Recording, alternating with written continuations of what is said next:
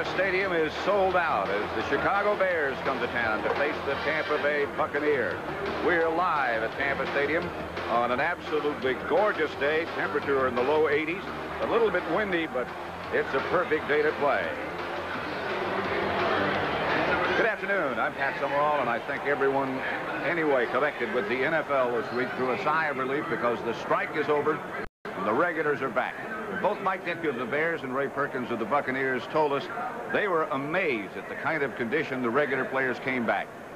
They were ready to play last week. And today we'll see what an authentic contest should really look like. Let's look at the standings in the NFC Central Division now. The Bears on top with a record of 4 and 1, 2 and 0 within the division. The Buccaneers 3 and 2 and 2 and 1 within the division. So this is indeed a battle for first place. The enthusiasm of both regular squads amazed their coaches, as I said, and John Madden, of course, is here with me. What about the Chicago Bears? Well, you know, the Chicago Bears, I thought going into the strike were the best team in the NFL, and Mike Ditka says, we're really antsy. I mean, these guys want to play, and he said they wanted to play in the middle of the week. One of the reasons is they were one of the teams that came back early. They came back last Thursday thinking that they could play against New Orleans, so they've had 10 days to get ready for this thing course, the big news here is that Jim McMahon is back. McMahon's active. We asked Ditka last night when he would play. He said, what I'd like to do is slip him in there. Maybe in the second quarter. If not in the second quarter, I'll start him in the second half. John, you get a feeling here in Tampa that there is a much more positive attitude. What about the Bucks? Well, I think Ray Perkins brings that. He he came here from Alabama, of course, after coaching the New York Giants, and and he's instilled that type of thing where you have the young guys, they have an aggressive defense, they're going after things. Of course, they drafted Heisman Trophy winner Vinny Testaverde. Testaverde won't start, probably won't even play, because they feel that they need the veteran right now. They need Steve DeBerg, a guy who is capable of having a hot hand. And as I said, it's a beautiful day for football. The Bears got the win. They'll kick off. It'll be Kevin Butler who's signaling that he's ready to go. Bobby Futrell back in the middle for the Buccaneers retreats three yards deep in the end zone and stays there.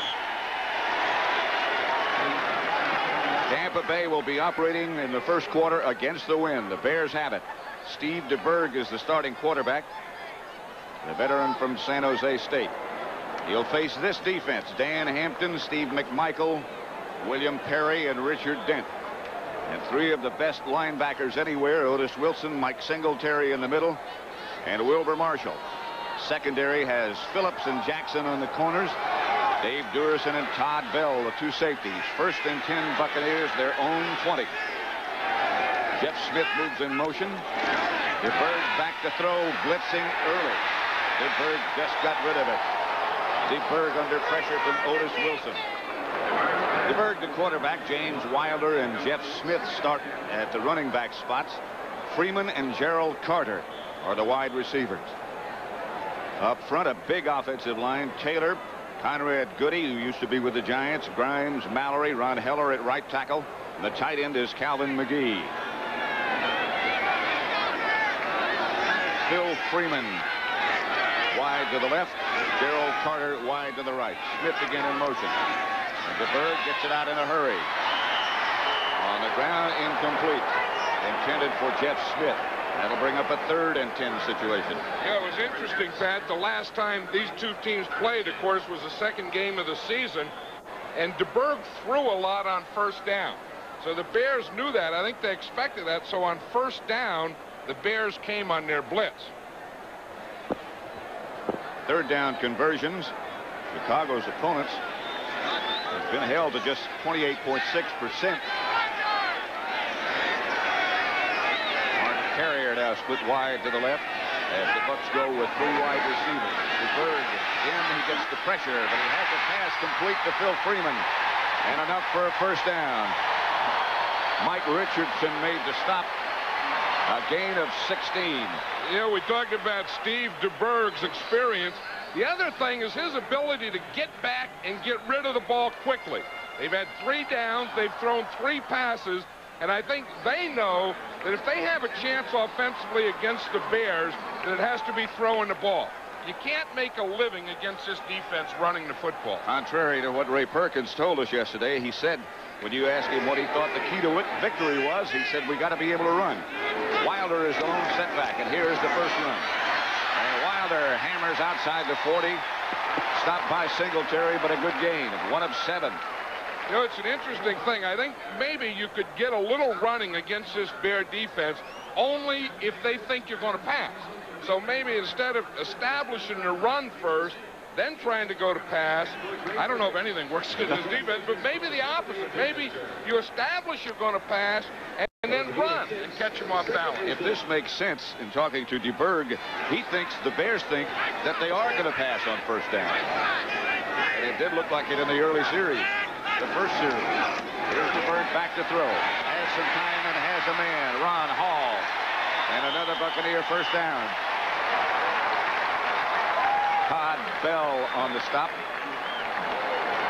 That was one of the guys that Ray Perkins likes is Ron Hall. He's a rookie. We see him coming in motion right there at the bottom of the screen. Then he stops. Then he's going to come underneath, and DeBerg hits him. And the thing that, that Perkins likes about him is he's a blocker. Wasn't supposed to be a receiver. He said he's surprised everyone. He does catch the ball well. Gerald Carter split wide to the right, and Freeman to the left. First down, Tampa Bay at their own 49-yard line. Bears fake a blitz this time. Don't bring it. Almost picked off by Otis Wilson. Intended for Carter. Wilson had uh, a lot of space in front of him. I'll tell you, there is a guy who I think could very well be the best linebacker in football, one of the best. I mean, I think everyone talks about Lawrence Taylor, rightly so. I think this guy is right up there in that category. Maybe of the great players, maybe the most underrated of them. Certainly the least publicized. You don't hear that much about him outside of Chicago. I'll tell you, but you watch him play, the guy's all over the field. And once you get him fired up, nobody's going to block him. Watch out. DeBerg retreats straight back. Outside complete to Hall.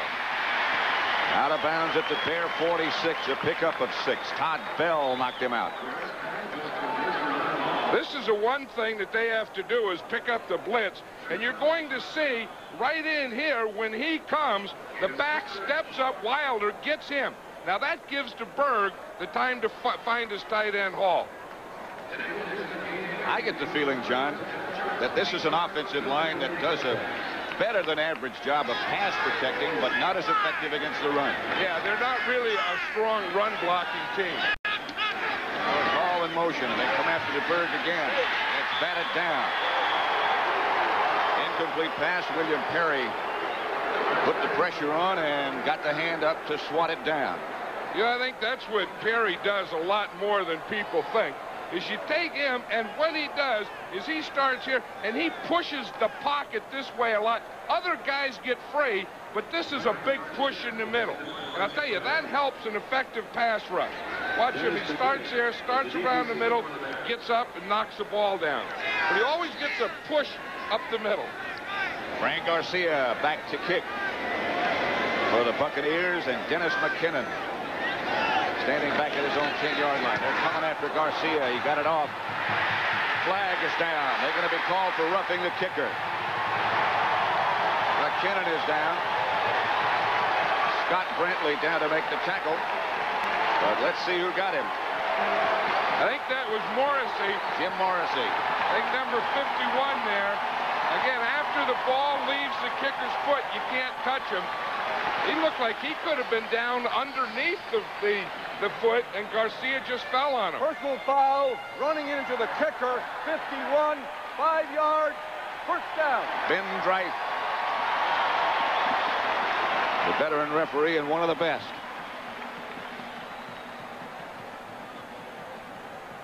Morrissey is coming right up the middle.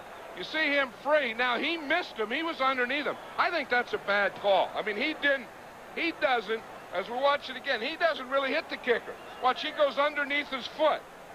And then the kicker falls on top of him. I don't think that's a penalty. Well, he called it running into the kicker, and it was only a five-yard penalty. Yeah, but I think the kicker sat on him. They don't have penalties for kickers sitting on guys. I have read one. There's Carter in motion, and DeBerg starts up again. He's got a man wide open. This is Jeff Smith. And he's out of bounds at the Bear 25. Dave Duerson knocked him out, but he got 16 yards. This is the thing that the Buccaneers can do is they can move the ball, and they did this the last time they played against the Bears. And then something would happen. They couldn't get any scores. They'd have a turnover. They'd get stopped. They'd, they'd miss a kick. These types of things. But if they can consistently do this, they can move the ball. They were inside the Bear 25 four times and only got three points out of it. Carter in motion again, and DeBerg back to throw. Has some more time. Throws behind Carter, who takes a wallop from Duerson. Duerson was saying that they're a slow starting team, that their defense doesn't always play well on that first series. I'm not sure why. I mean, these are a bunch of fired up guys, but he made that point. For some reason, when we play in a game, that first series, we're not really at our best. And then we get better as the game goes on. And when they get you down, you better look out. Second down and 10. The Bear 25. Burt back to throw again. Has a man open. It's Carter. Breaks one tackle. Breaks another. Gets down inside the 20. Wilber Marshall finally brought him down. But it's a gain of seven. Bucks have run just one running play. I'll tell you, the thing that is impressing me is their pass protection. Of course, their biggest pass rusher right here is the outside number 95, Richard Dent. That's Rob Taylor there blocking him. He's going to get some help from his back and some other guys. But I'll tell you, they have done under this situation, we've already thrown 10 passes, and he's had good pass protection. Mark Carrier stood out wide to the right this time. DeBerg again back to throw. Gets it up the middle, and it's caught at the 10-yard line. I think it's Calvin McGee, the tight end, from DeBerg. They move it back just outside the 10 so they can make a first down without a touchdown.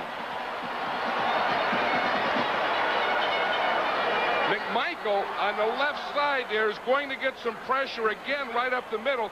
But DeBerg does two things. One, he gets back quickly. He takes a three or a five-step drop and then gets rid of the ball quickly. So part of it is pass protection. The other part's DeBerg. Bears showing blitz again, and DeBerg makes him back out of it. Gets back to Wilder. Wilder hammers over the right side. Still stays on his feet, gets down to the seven. Richard Dent finally got him down. Falcons over Houston, 3-0. Green Bay beating Detroit 7-0. All of those, both those, first quarter. That's Vinny Testaverde signaling in plays to DeBerg. That's, I'm sorry, that's Mike Shula. Testaverde had been doing that job. Now he's keeping charts somewhere else. Shula just joined the team this week. Shula's son, of course. Carter left, Carrier right. Bird back. Touchdown, Calvin McGee. I'm not sure who he was throwing to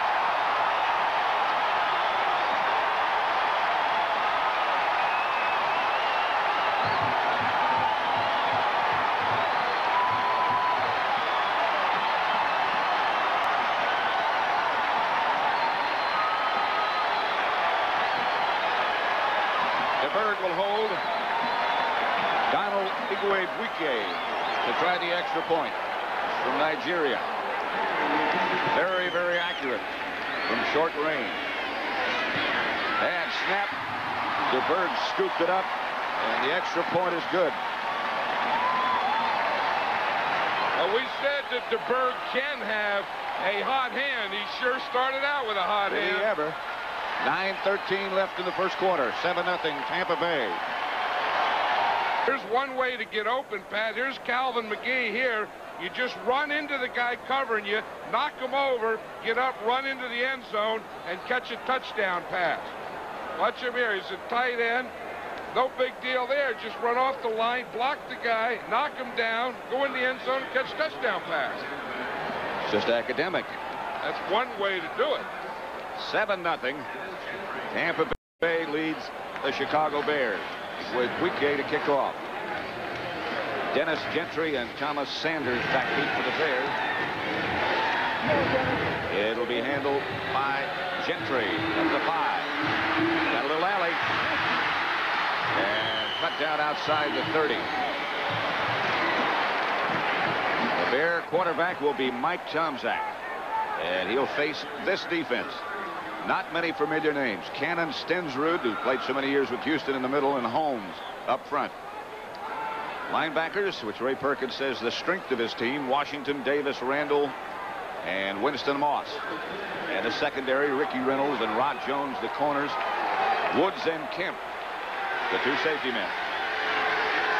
Tomczak starts off with Neal Anderson and Walter Payton in the backfield. He's going to work early. Willie Gault. Pass is intercepted by Rick Woods. But a flag down on the play.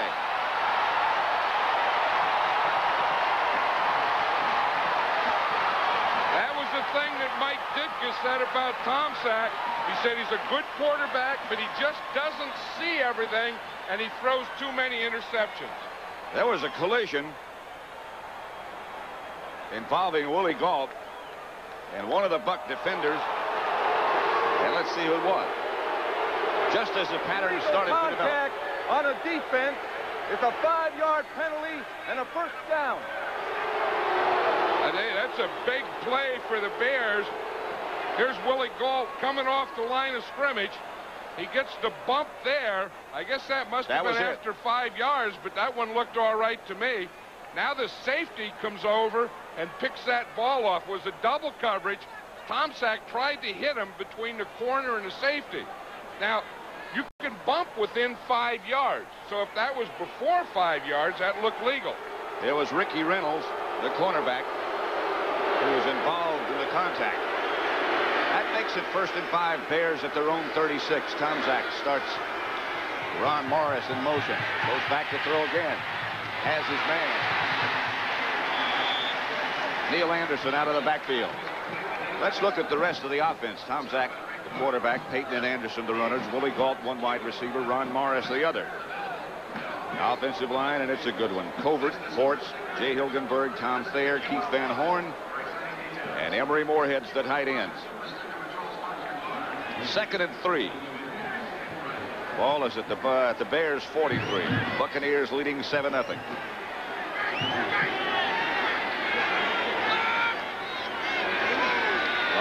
Ron is split wide left. Gault is to the right.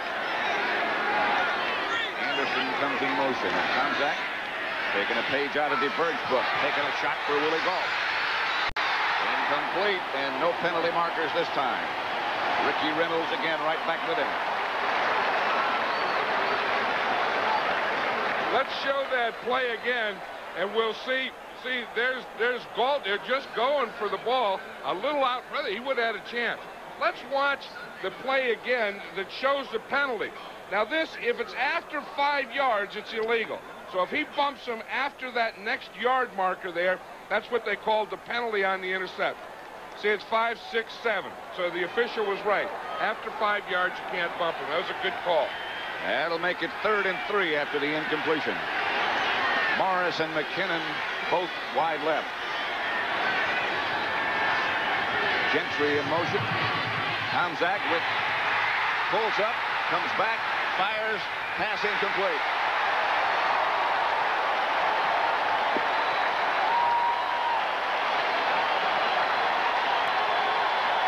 Intended for Gentry.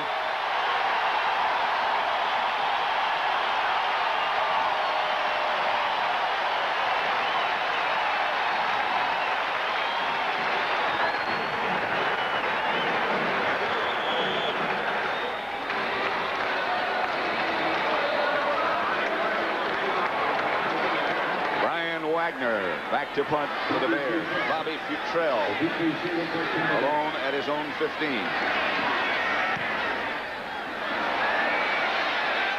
Handles at the 17.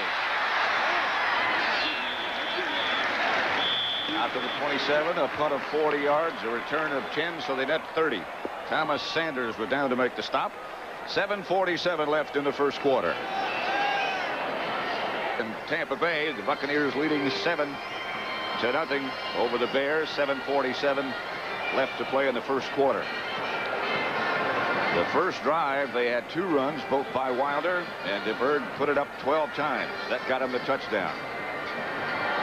Other scores, New Orleans leading San Francisco, Cincinnati over Pittsburgh, Miami over Buffalo,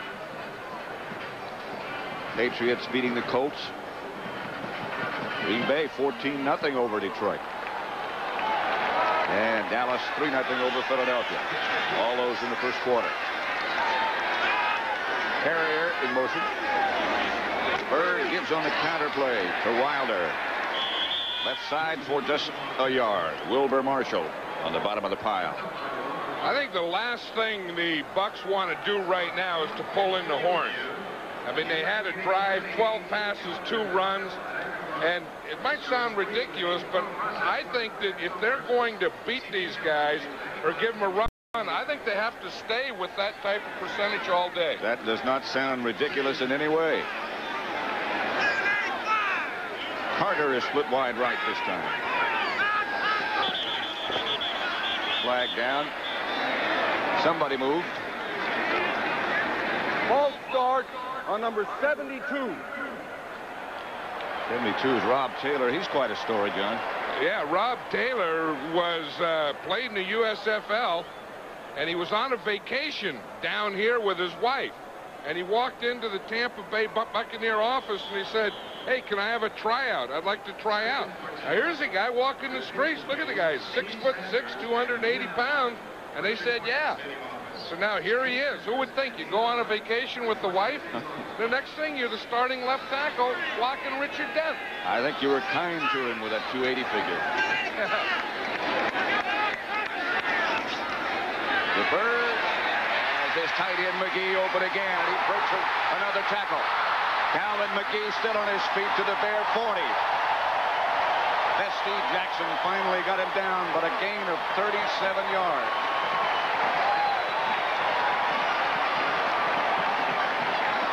There's a guy, Calvin McGee. After they played last year, Dave Duerson said he was going to vote for this guy for the Pro Bowl. And this is the type of thing. He said he's a wide body. He's a big load when he comes down there. He's tough to tackle. So they this isn't the first time they found out about McGee. They knew about him last year. First, he might have only got one vote for the Pro Bowl, Dave Duerson. This is Jeff Smith around the corner for good yardage. A gain of seven before Singletary can get him down. That's his first carry. Give Wilber Marshall an assist tackle. Jeff Smith obtained from Kansas City. And Ray Perkins' description of his running style was he's a slasher. I'm impressed with this offense. You know, the offensive coordinator of this team is Ray Perkins himself. He tried to hire one last year. He couldn't get Dan Henning, he said, I'll do it myself. Second and three. That's Smith on the move, and that's Wilder with the ball. Chased by Hampton and cut down by Dan Hampton. No gain. I still say it's a nice changeup against this Bear defense, but you're not going to make a living running against it. There's a flag on the play, and the indication by DeBerg is that it's against the Bears. Unfortunately, he's not the official. Well, Ben Dreith just signaled against the Bears also. 72, hands to the face, five yards, first down. That's the fridge in there. It was against the fridge, using the hands to the face. Not a bad one. It's only five yards. We see him right here in the middle. See, there's a fridge there. Watch him now. He's going to work down the line, work down the line. Somewhere, as he's getting knocked backwards, he grabs his hand to the face. Grabbed, I think, John Conrad Goody. As he crossed in front of him. Reverse coming. And now back to DeBerg, and he goes outside and has Jeff Smith, and Jeff Smith scores a touchdown.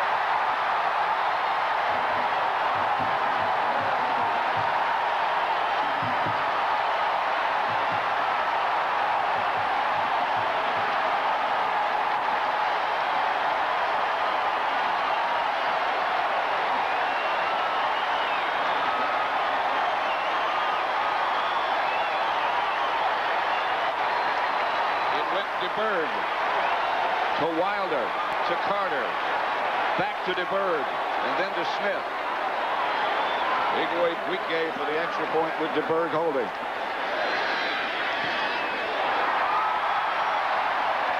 Fourteen nothing. I'll tell you, this is some type of play. It starts out as a reverse. Then he flips it back to DeBerg. Then DeBerg says, look what I found. 14 nothing.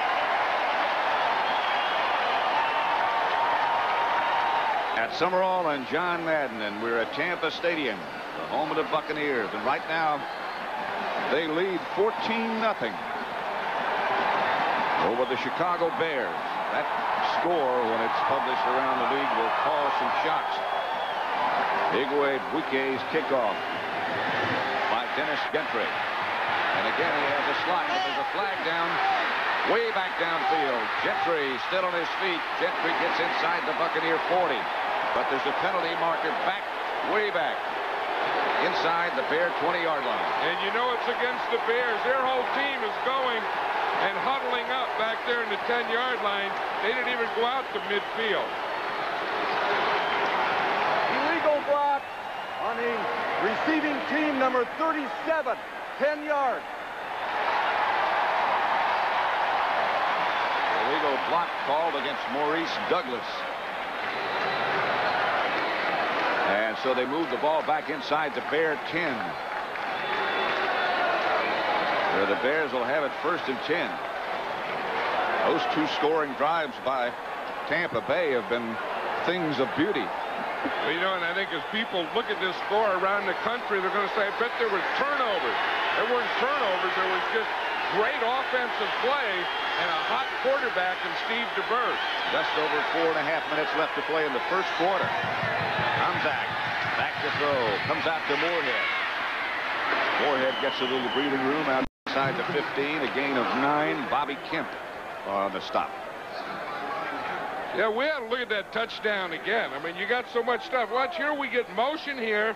We get a flip here, a hand here, a reverse, a flip back here to the quarterback, and a throw here to the back for a touchdown. Now, if you can understand that, then I don't know what you're doing watching this game.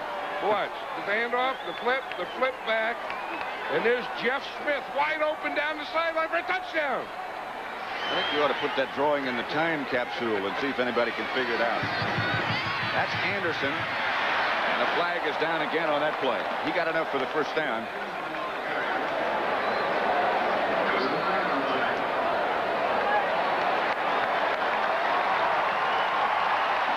Nothing is going right for the Bears. Holding 63, 10 yards. Second down. All against Jay Hilgenberg. It's something for him to hold because he's got a harness on his left shoulder and can't really extend that arm.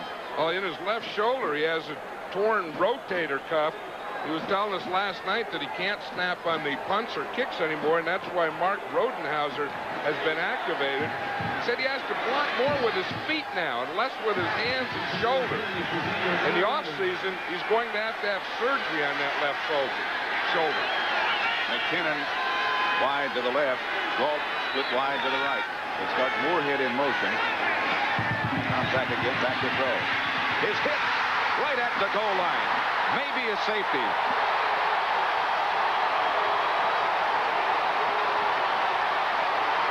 It is.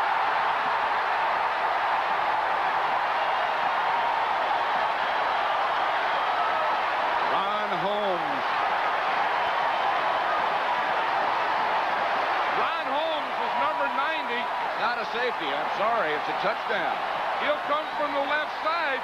What happens, he hit, the ball is knocked out of Tomczak's hands right into the end zone for a touchdown for the Buccaneers. Chris Washington recovered it in the end zone.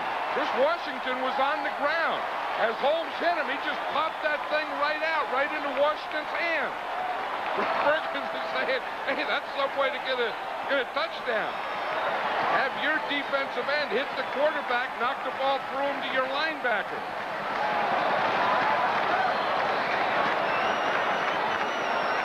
Think it's an instant replay, Pat, here. I think they're going to see, was Mike Tomczak in a throwing motion? Now watch, as he gets hit there, no, he wasn't. Now that's a touchdown for the Buccaneers. What they're looking for is see if his arm was going forward in a passing motion.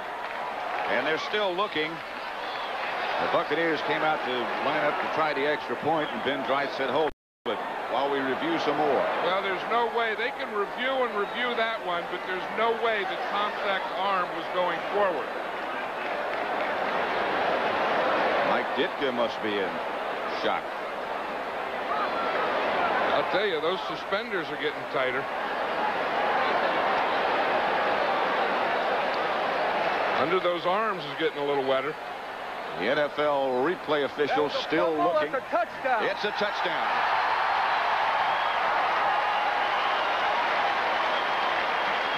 Art McNally, who is the supervisor of officials in the NFL, who was reviewing.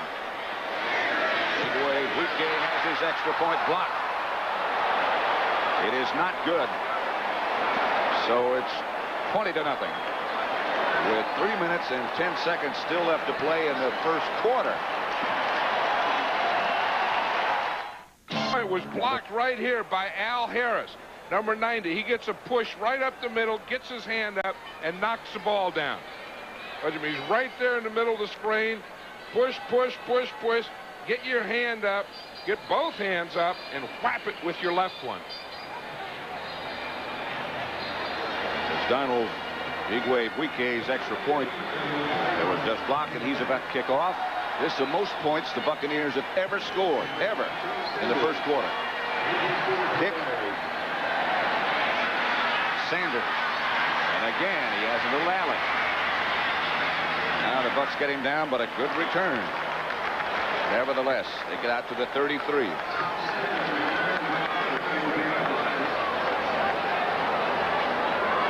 This young lady's name is Dina Reel. She is suffering from cystic fibrosis. Her idol, Walter Payton. This took place before the game.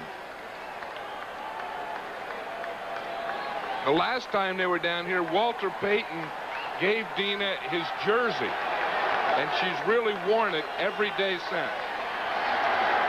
You, you hear so much about strikes and this and that and bad and players wanting money. It's guys like this guy right here, Walter Payton, that make him in the game something special. That was Payton with the carry, stopped by John Cannon. His career. Hey, you, you know, you forget. I know you watch Walter Payton and you think, you know, he's just number 34. Then you think of all the things that he's accomplished.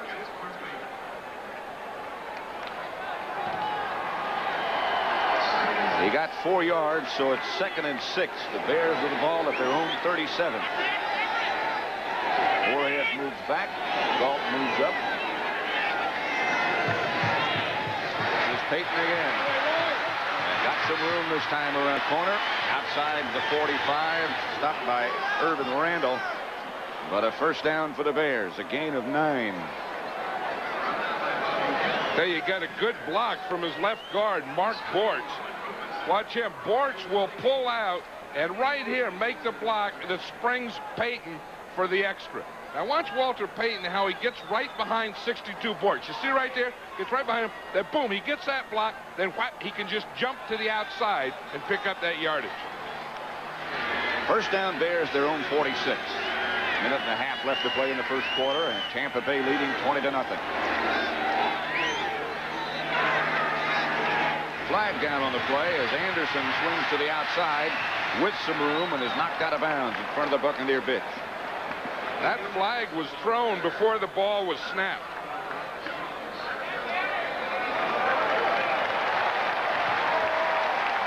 That's why, because he didn't get the ball off in the 30 seconds. Mike Tomczak, the quarterback. I think Tomczak may be feeling a little extra pressure knowing that one, that McMahon is there and suited up, and number two, that he's going to play today. I think Mike Ditka told both McMahon and Tomczak that McMahon would play, and he didn't tell either one of them as of last night when they were when he was going to play. He sort of alluded to the fact that he would use him sometime in the second half. First and 15. He did say he didn't care what the score was. He was going to use him. It's Anderson up the middle. Stensrud, who's done a good job at nose, nose guard for the Buccaneers, made the stop. He got six, of though. Yeah, one thing they got out of Stensrud, they picked him up from the Minnesota Vikings this year, and he's a big guy. He's a nine-year veteran, but he's a little stronger than what they've had at nose tackle. And Ray Perkins says it, he really helps us in this holding up against the run. Look at that face. He looks like a nose tackle. He That's does. the face of a nose tackle. He was over 300 pounds at one time. Now he's got his weight down in the neighborhood of 290 and is playing better. Guys that are over 300 are always getting their weight down. It's a good idea. Pass incomplete intended for Morris. Ricky Reynolds, the defender. Talking about being over 300, you know, the re, the uh, the fridge didn't make weight this week. His weight that he's given by the Bears is 315 pounds, and uh, he didn't make that. Mike Ditka didn't tell us what that number was, but it's larger this week than 315. 39. He didn't tell us either how much he fined him. He never does. But you know he does. He said he would be down next week. Third down and nine. Tomczak out of the spread formation. Under pressure. Flag down. Tomczak going deep. Intended for Gentry. No flag down there, but a flag back close to midfield.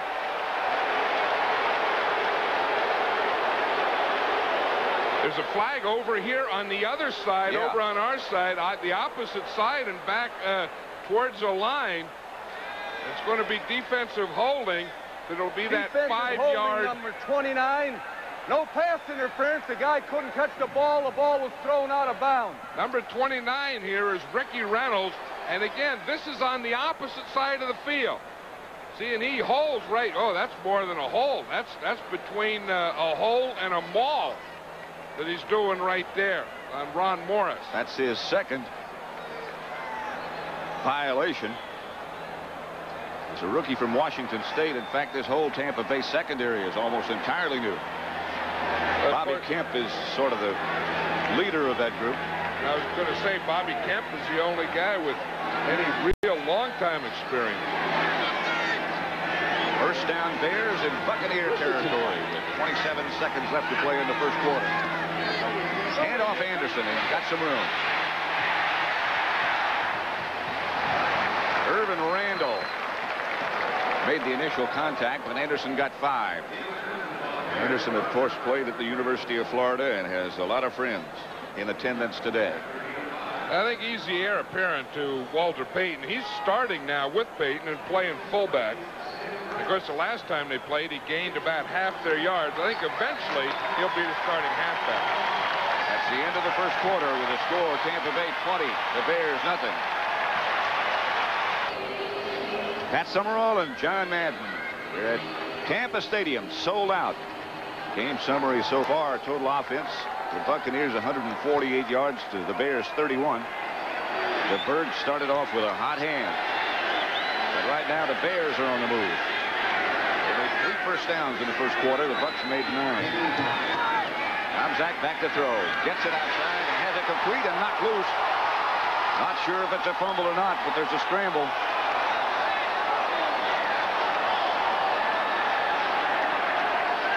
Was a gain of three if the pass was complete. I'm sure it's one that's going to be instant replay anyway.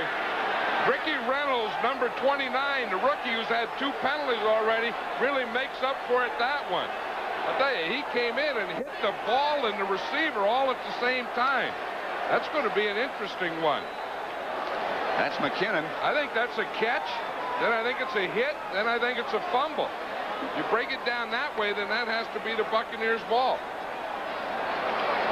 That, as I said, I'm sure that's one that's going up there to Art McNally for the replay. But it looked like to me a catch, a hit, and a fumble. That's what it is.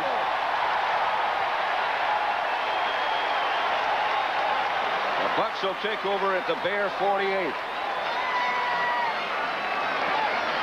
Hey, one thing, coaches always tell their players, go out and make something happen. you usually get your typical game, whatever that might be. But whatever Ray Perkins told those Buccaneers, if he told go out and make something happen, they're doing it today. When you asked him yesterday what he thought he had to do to beat the Bears, he said, uh, we got to get after them. Maybe a little bit stronger than that, but they've gotten after them. And I think that's exactly what he told them. Look, don't worry about anything. You've had the time off. We've practiced. We're ready to go. During training camp this year, most teams practice twice a day. The Buccaneers practice three times a day. And their first workout this Monday was four hours. Carrier split wide left. Harder right. DeBerg. Going for Carrier. Incomplete. That one was well covered by Duerson. For an NFL update, let's take you to New York and Brent Musburger.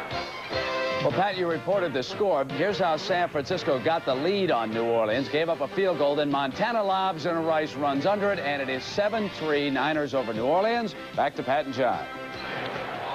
Here we're just in the opening seconds of the second quarter. And the score, and that's not uh, incorrect, it is Tampa Bay 20, Chicago Bears nothing. Second and 10. DeBerg with time. Incomplete. Intended for Calvin McGee. Very nearly intercepted, and McGee made a good play to keep the ball away from Otis Wilson. That was a great play by McGee. After the ball into Otis Wilson's hands, McGee just grabbed him and didn't let him get that second hand on the ball or get control of it. First of all, the ball's thrown in there. The ball bounces up. Now watch McGee. He grabs Otis Wilson by the back of the jersey and holds him from getting the ball. Tell you, that's awareness or alertness or one of those words that start with A. Awesome. Yeah. I don't think you could call it good coaching. Just awareness. Third and ten. Bears don't blitz. Bird's pass incomplete almost thrown away. Solomon Miller was the intended receiver.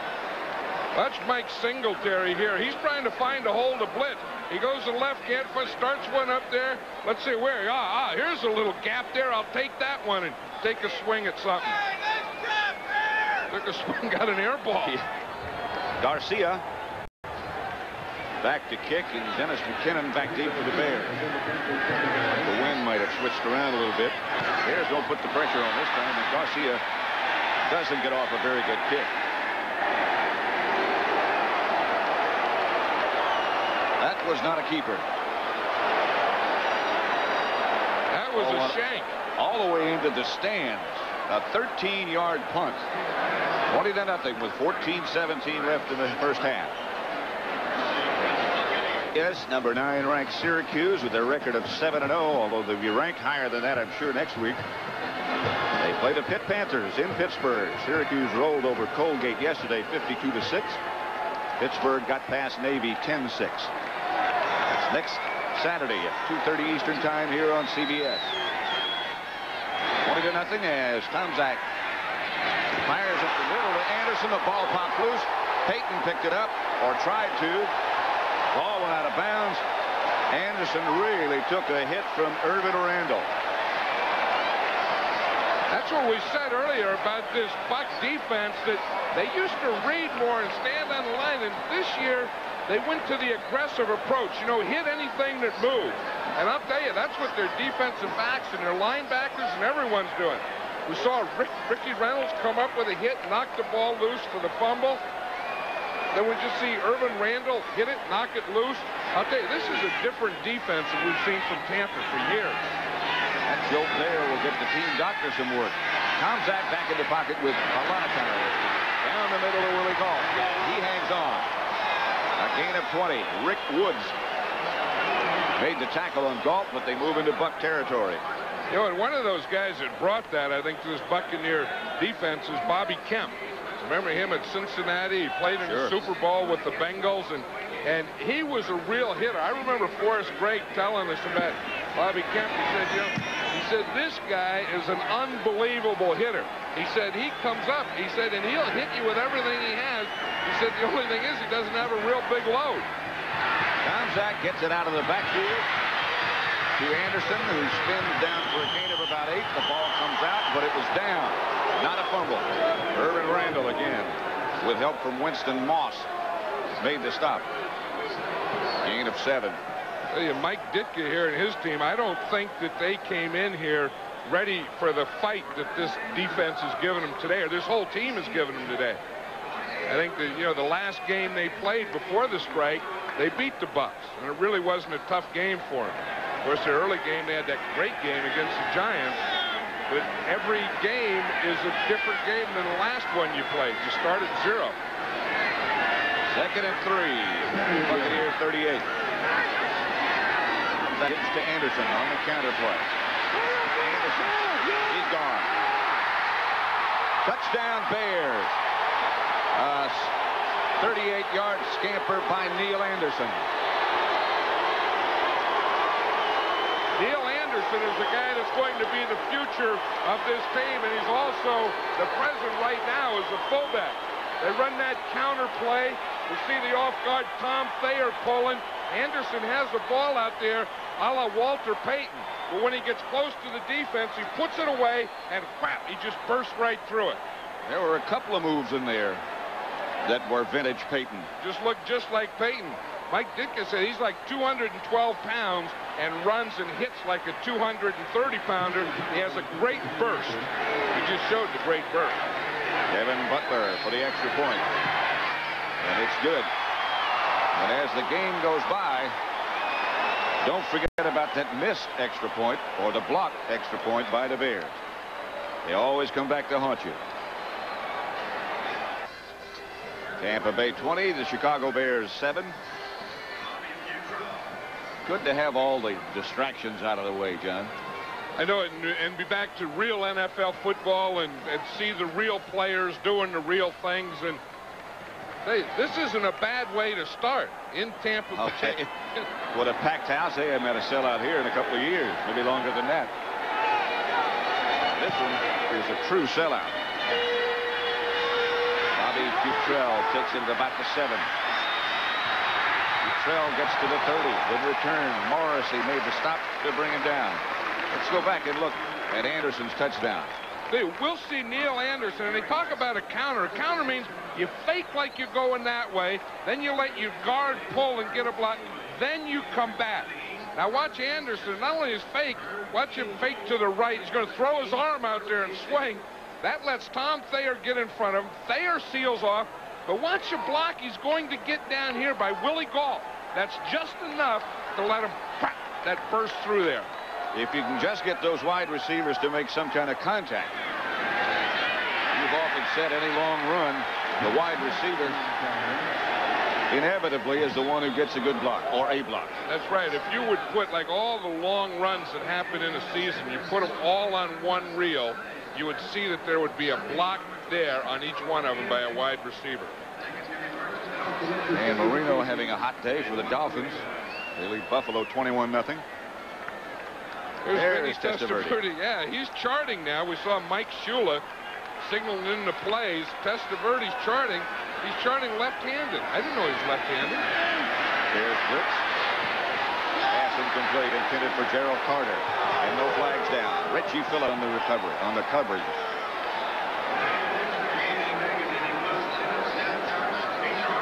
Tell you one thing, DeBerg started out with a hot hand, but the thing that has impressed me is that they've been able to give him time. Look, he's passed 17 times, has not been sacked once, and has only been knocked down. You know, that's after he throws it. Only knocked down two times. I tell you, that is something. One about DeBerg, getting back, getting rid of the ball quickly, and then two is pass protection. He'll operate this time out of the spread formation. Third and nine.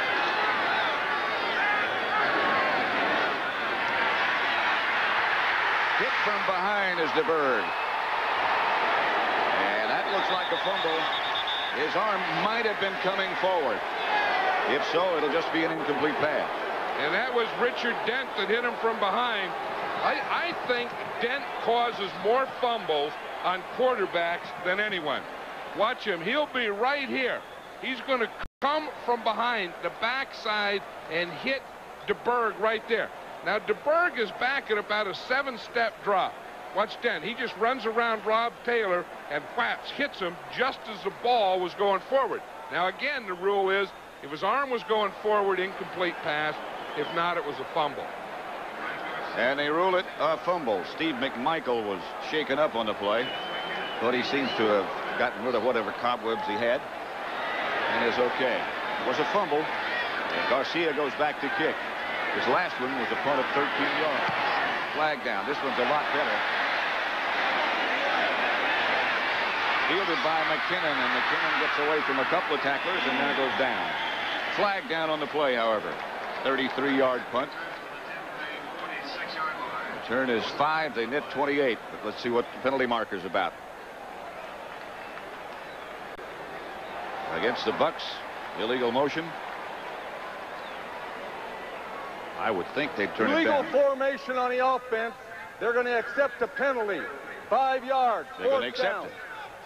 I didn't think right. Well, that kind of surprises me, too, that they accept it unless they want him. Remember, Garcia, a couple punts ago, shanked one. Right. Shanked it so bad it went right into the stands. Maybe they feel that he's a little shaky. Now, I think two things go. If you take that penalty, then you should come with a punt block. Really put pressure on this guy. Linebacker Jeff Davis was shaken up for the Buccaneers on that punt coverage. And he's one of the keys to their defense. Garcia standing about two yards deep in his own end zone.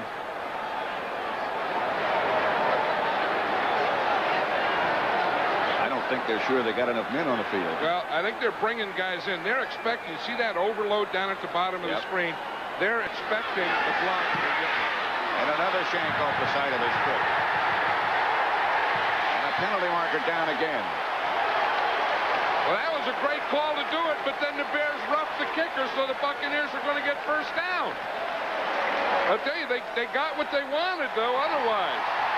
Roughing the kicker.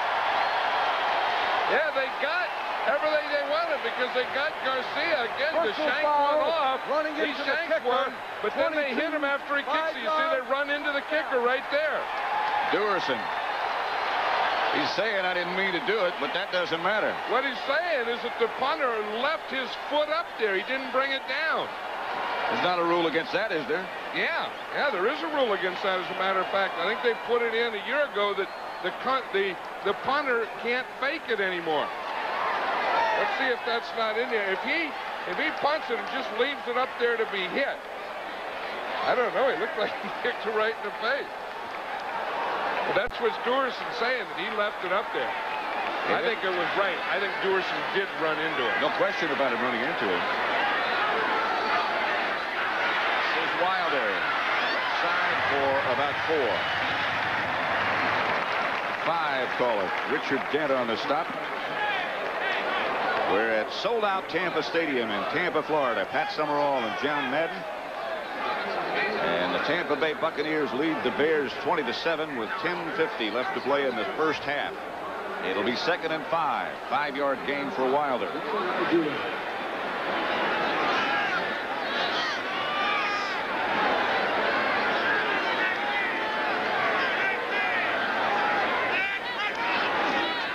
Again, Wilder.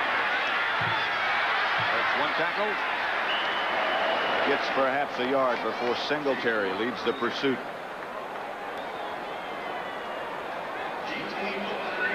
Steve DeBerg has sure had had some first half. He's a guy that is really not a respected quarterback or as much respect as he should get. And he's a guy, he said, all you have to do if you want a great quarterback is get me, because then you'll get one after that. He was at San Francisco. Then here comes Joe Montana. Then they go to Denver. Then here comes John Elway. Then he comes to Stamp, Tampa. And here comes Steve Young and now Vinny Testaverde. He's always been a guy who's able to move the ball from. Back to throw on third down, has time. Pass incomplete, almost intercepted, intended for Mark Carrier. Reggie Phillips, the defender, along with Todd Bell. Almost caught this one on the rebound. But he has double coverage there. The ball bounces out. Now watch as it comes down. He almost got it the second time. He's down there at the bottom. He could have caught, went right through his hands, and he's on his back. Garcia's got to be in somewhat of a state of shock. Two roughing the kicker penalties. One punt that went 13 yards, another one off the other side of his foot. See the Bears come after him again. Well, that one went into the stands. I don't think I've ever seen that in an NFL game. And it wasn't just in the stands. About 15 rows up I in the a golf ball like that. Flag down. Garcia's punt goes straight up in the air almost. McKinnon feels it at his own 37. Gets one block. Stayed up 4-6 at the hang time, but a penalty marker down back at the line of scrimmage and another one back on the kick return. There's a lot of flags. I, I see two down here on the return and one on the other end. I see three flags out there. Flags all over the place. Didn't Take a drive. while. Ben's had a busy first half. Illegal formation on the offense. 59 illegal blocks. Replay. Garcia's getting a lot of practice here lately. No, if he's in shock, he'll have time to come out of it or get deeper in it. If I were the Bears, I would still come on a block again. I think when you get a punter shaky, you just keep putting pressure on him. He's bound to catch one in a minute. Well, I think he caught that last one pretty good. He was up there with what 4.6 hang 4 time. 6. The Bears aren't lined up in a, a punt block or a punt rush. Line of scrimmage is the Buccaneer 24. Kennan now is back at his own 30.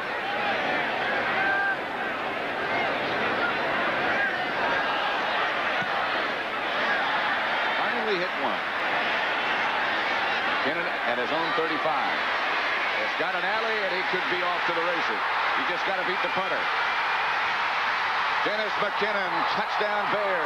And they're right back in it. And there's no penalty flag. McKinnon, I'm sure you recall, did the same thing on opening Monday night when he brought a punt back for a touchdown, and now he's done it again from 65 yards. Well, there's the guy with courage. You remember Dennis McKinnon with a knee injury and surgery missed the entire season last year. He hadn't returned punts for four years. He came back this year, said, not only am I healthy, but I want to be a punt returner again.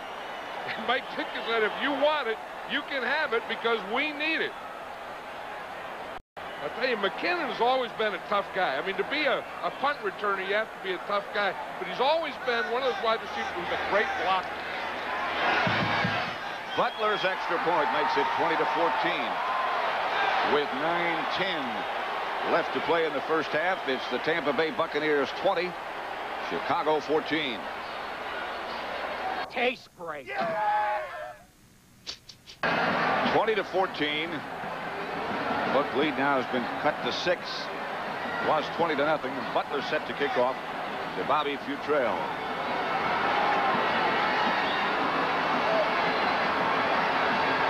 At the five.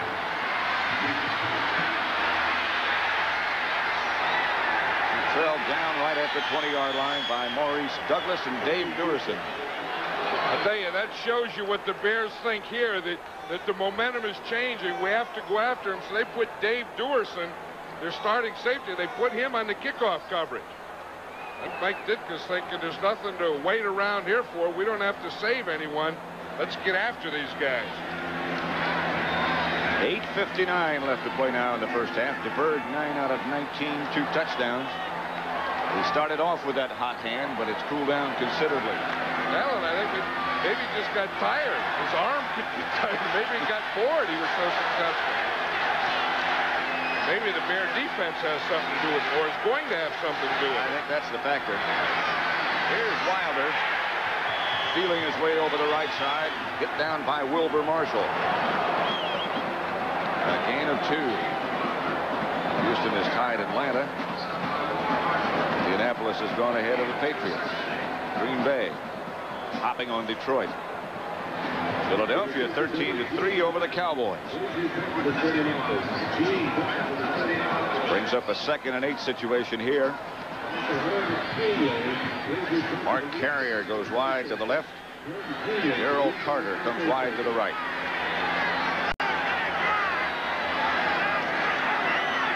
DeBerg back to throw. Look out from behind is Dent. There's a penalty flag down on the play. Second sack by the Bears. Both of them belong to Richard Dent. You know, I think DeBerg is taking a little drop, a deeper drop now. Number 72. Nothing on a quarterback. And that's the guy that has to block Dent. I think Dent probably causes more guys jumping. Here's Dent. See, he lines up wide. That makes that tackle a little edgy because he has to get out here to get him. And Dent just runs right off that corner and gets DeBerg. But see, when he's that far out, you get a little antsy, so you want to get a jump. Now, he's being blocked really right into DeBerg. Earlier, DeBerg was taking that three-step drop, and that angle that Dent would take, he couldn't get to him at that pass. That brings up a second and 13. Bucks back up at their own 17. Hand off to Smith. Gets up for good yardage, up to about the 25. Stopped by Todd Bell. Gain of eight. But that was a plan that, that, that the Buccaneers came in with is, is to use either a three-step drop, which is about four or five yards, or a five-step drop with DeBerg, which is about six or seven yards. And that way, they can't get there from those wide corners away Dent comes. Now, if he goes a seven-step drop, then that's the angle that Dent is taking on his pass rush, and he'll get in trouble. And he's so quick that he can get there. Here comes the blitz in a hurry. They picked it up. The pass is complete to Gerald Carter. A gain of six, stopped by Wilber Marshall. It's enough for a first down. Singletary came firing up the middle. There's, of course, Jim McMahon loosening up his arm. I would bet that he's loosening up as I look at that now. When you wear that kind of cap, then you're loosening up for the second half. I don't think he's loosening up for this half. I'll bet you he's going to start the second half. Because if he if he were going to play now, he'd have a harder hat on. Tomczak is warming up with him, and he's got the hard hat on. Now it's Wilder over the left side, stopped by Dan Hampton.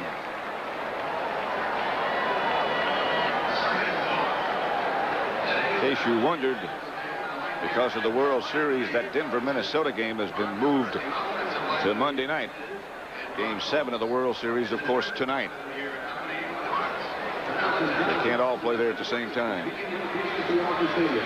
Some of those guys, I watched that Hrbek. I, I mean, he could play both games. He could, he could hit you a home run and play nose tackle at night. About 245. I like that guy. I, that's the way. Boom, boom, you know, big guys swinging that lumber. Look out. That's Wilder. One of the Bear linebackers came blitzing and took himself right out of the area where the play was called. And you know, they always tell running backs, finish off your run. At the end, finish it off. I'll tell you, Wilder does that. Singletary gets blocked from the inside. It was Wilber Marshall who run by it. But watch Wilder finish off on Todd Bell here. Watch him right at the end. Boom! You see that right arm hit 25 Todd Bell? That finished it off. That's the way it is. Once I had a fullback, Hewritt Dixon, who got a 15-yard penalty for finishing the guy off. To Wilder again, and he gets good yardage again. He gets six. Wilber Marshall made the stop. Well, this could be the thing we we're talking about. You start passing to loosen them up. That's a 49er approach. You pass in order to run. So they started passing. Now they start running. That was that counter trey play that the Redskins made famous. Remember John Riggins running that thing for years. Everybody has a version of that now. Pull the off guard and tackle. Get the fullback in behind him. Second and four. Four and a half minutes left to play in the first half. Smith in motion. Wilder gets to work again. Doesn't get much this time. She picked up three. That'll bring up a third and short situation. Stopped by Otis Wilson. You know, the interesting thing is they're running mostly to the left, and that's at, you know, Richard Dent and Wilber Marshall and William Perry over there. They're staying away from this side of McMichael and Hampton and Otis Wilson. I don't know which way I'd go. Third and about a yard and a half. Well, one good thing at running at the pass rusher, and that being Dent, you kind of calm them down a little, make them anchor in and not get so wide. They used to always say that about Deacon Jones. They say it about Lawrence Taylor. Single setback. It took too much time. That had to be an audible.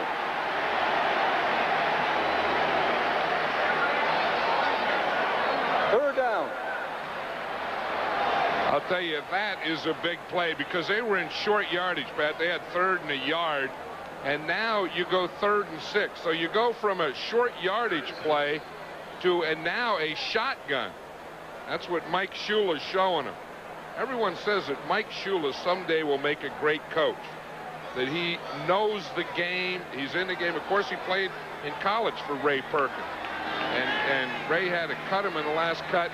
So it was the toughest thing he ever did. He couldn't wait to get him back. He said he never, never makes a mistake. Third and six. Bird pump fake. Complete. Solomon Miller sitting down, and a flag is down. Wonder how a quarterback gets that much time against a Bear defense. The penalties against the Bears, so that'll be a first down. Defense lined up in the neutral side, the neutral zone, decline the penalty. First down. But watch this. DeBerg has time not only to throw, but to pump, bring it back. That is a heck of a play. You have to have strong hands to do that because that wasn't a pump fake. He went to throw that thing, stopped in the middle of it, held it, brought it back, cocked it again, and zipped it in there. He's got huge hands as the Buccaneers go on a quick count. Smith tried to get around the corner. Knocked out of bounds for no gain, or perhaps one, two maybe, by Todd Bell. You know, he is he is quite an athlete. He was a pole vaulter in high school, DeBerg. And they say that he's a, a great tennis player. In fact, when he plays tennis, they call him DeBorg. And I've played golf with him. He's got a good golf swing. Well, they could call him like DeNicholas in golf. Could. Or if he wrestles, they could call him DeHulk. You could have just put "da" in front of it, and that's what he is. He, he started his career in high school as a center. Who would have thought? You made a wise choice. Pass picked off and dropped right in the hands. I think it's Singletary. He had it and wanted to take off with it. That's one of the things the Bears will talk about at halftime, that DeBerg is starting to come close to throw interceptions. They've had opportunities, the Bears. They've had so many here. Remember, Otis Wilson had one earlier. Here, Singletary has one. And I'm sure that they can take that as a positive thing and say, hey, look, guys, it's just a matter of time. Bird got hit by Dent. Not a severe jolt. That's enough to knock about three yards. Look where Yep. that is, where DeBerg ended up. Well, that's a severe jolt. Timeout Buccaneers. DeBerg goes over to the sideline. 2.44 left to play in the first half. Tampa Bay 20. The Bears 14. Next week, of course, full schedule of NFL activity here on CBS. Washington visits Buffalo. Starts with the NFL today at 12:30 Eastern Time. I think there's one of the, the good teams. We see that they're beating the Jets now. But, you know, I've always thought they're kind of like the Rodney Dangerfields of football. Everyone forgets about the Redskins. For some reason, they don't always get that respect. I mean, they talk about the Giants, they talk about the Bears, the, the 49ers, the Cleveland Browns, and you forget the Redskins, and they just sit there and win. And they're a very solid, well-coached football team. Rest of the schedule, Tampa Bay goes to Green Bay. New Orleans, Atlanta, San Francisco, Rams, Minnesota, Seattle, Detroit, Denver. John and I will be in Anaheim for the 49er visit to the Rams. It'll Be a pretty good trip for you. Well, it's all the way across. It's as far as you can go in this country. Coast to coast, and then we'll be back in Green Bay. We'll be crisscrossing this country. We'll we'll take a look at it and see what's going on. We'll let you know. You'll be qualified to teach You probably want to know what's going on, like in uh, Las Vegas, New Mexico. Probably. I didn't know there was such yeah, a place. Yeah, there's a Las Vegas. Yeah, we'll go right through. Las Vegas, Albuquerque. John, of course, does all that by bus.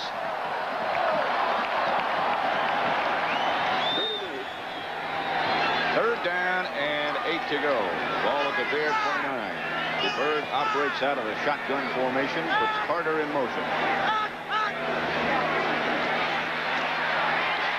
Pass is complete and then dropped. It won't be enough for a first down. The Bears recovered anyway, I believe, and now they say he was down. Dent was all over DeBerg again. He had to throw it early. I'll tell you, Dent is one of the best pass rushers in the NFL. And, and when you get back there where he can come off that corner, then it's going to be a long day for you. You see, that time, he starts from the outside and he comes up the middle. He came up the middle on a stunt that time. But usually he comes from the outside, and that's, that's when he gets to the quarterback. DeBerg is waiting for the two-minute warning notification to take place, and now it does.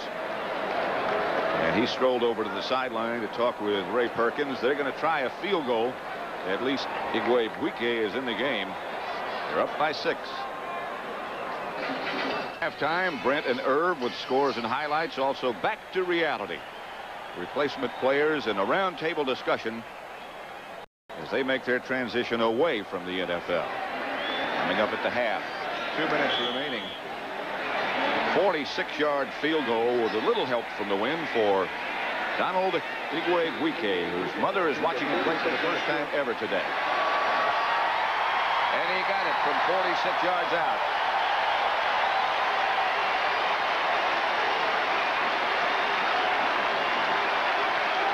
That makes the score the Bucks 23, the Bears 14 with 156 left first half.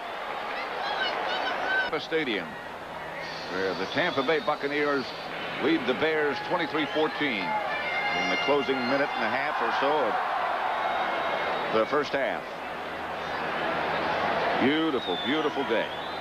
And a sellout crowd. You know, you think of a beautiful day, you wonder about that Bear defense. They've been on the field a long time in the first half. They train up there in Chicago where it's a lot colder. I don't know. There's a little heat here. I don't know if they're going to start getting a little tired down there. That's Gentry. Hit. Stays on his feet. Fumble. One of the Bears picked it off in midair. Sean Smith got the ball after Gentry's fumble in midair. Number 97. Watch this thing just pop out of there. He's fighting for yardage, and that's one of the things that's tough. He gets hit from behind. The ball just pops right out of the air. and this guy was going to block, and then the next minute he gets it. It's his ball. The guy that hit him from behind was uh, Solomon, Solomon Miller. Miller, yeah. The wide receiver. First and 10 Bears. They start from their own 22-yard line. Now a minute 45 left to play in the first half. Tomczak is still the quarterback.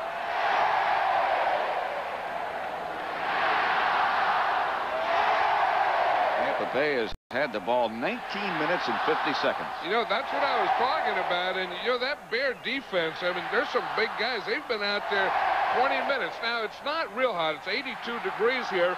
But when you're coming out of someplace where you've had the cooler weather and then you come here, if you're a, a big guy with all that equipment, you start to feel it. Referee and his staff had a little conference. I'm not sure what that was about.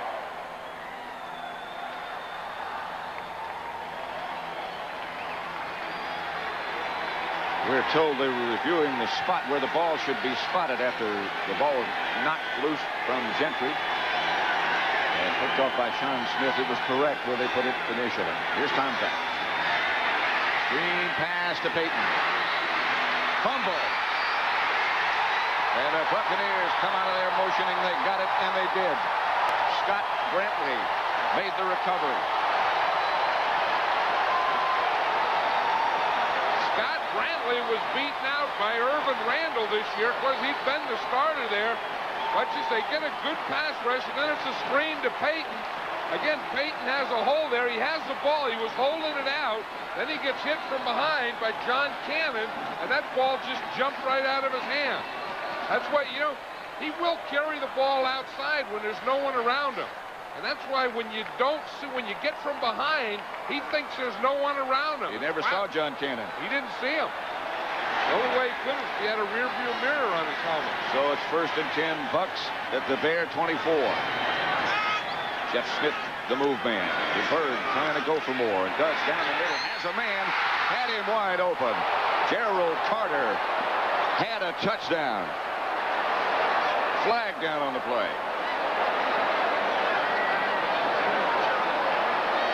That's in the area of holding. But they, that's a timing pass. DeBerg just boom, boom, boom, whack, throw that holding, ball. Number 79, 10 yards, first down. All against Conrad Goody. Conrad Goody's the left guard. He would be the guy who's who's blocking against the fridge right here. You see him. In fact, I guess that's what they call. He just before the fridge collapsed him, he put his right hand up on part of that jersey. That penalty would take him out of field goal range. It'll make it first and 20. They're showing blitz. Here they come. DeBerg quickly outside, pass caught. And out of bounds at about the 32-yard line. Caught by Calvin Magee. Gain of only three, and DeBerg felt the pressure. Well, you know, DeBerg was injured in the last Bear game. He hurt his knee. Without the strike, he wouldn't have been able to play the next week. And I think he got one on the knee there. He's going to get the blitz right up the middle. You see it coming here? He gets hit there, and it looks like he got his knee. Got clobbered by Steve McMichael. Well, he, and in fact, it was McMichael who hit him in the first game that he had to leave then he came back in. He's wearing a big brace on me today. Second and 17. They're not showing blitz this time. Hampton on a stunt on the left side takes him down. That's the way you get to him. What happens is here's Hampton here. Now, instead of going here where you can't get there, you erase that, and then he comes underneath, and then you take him at that shorter angle. You see, Hampton starts out there like he's going wide, and watch him come underneath. Then he finds a hole here, just jumps right over the back and into DeBerg. And I think that's the way you have to rush him. You can't get there from the outside. You have to come up the middle. Pressure up the middle. That was the secret. I know you felt in rushing Dan Fouts. I think DeBerg is the same type of guy. By Otis Wilson this time. And nobody touched him.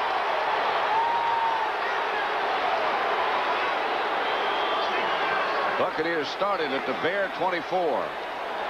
And I'll tell you, they're wondering what now. Otis Wilson is a down lineman here. He just runs right in and, make, and, and meets DeBerg back there. On the pass rush, Otis Wilson is the outside guy. The tackle looked in. Ron Heller, then he just let Wilson run right by him. I think maybe the numbers confused him. Well, they always do that. Every, yeah. every third down this year, Otis Wilson becomes a defensive lineman. DeBerg would appear to be a little angry. They hit first and 10 at the Bear 24. Now they have to punt from the Bear 48. Well, I think he's angry that they just let him come, that they should know that because that's the way the, they, they play their nickel package, the Bears do. They have Otis Wilson plays left end, then McMichael is the left tackle. Then Hampton moves to the right tackle, and then Dent's the right end. That's their four-man line pass rushers. It's not something that should be unfamiliar. That's what DeBerg's saying. Yeah. McKinnon standing back at the 10. He's already returned one for a touchdown, his second of the year, which is a Bear team record. Not just his, a Bear team record. Two touchdowns in the same year.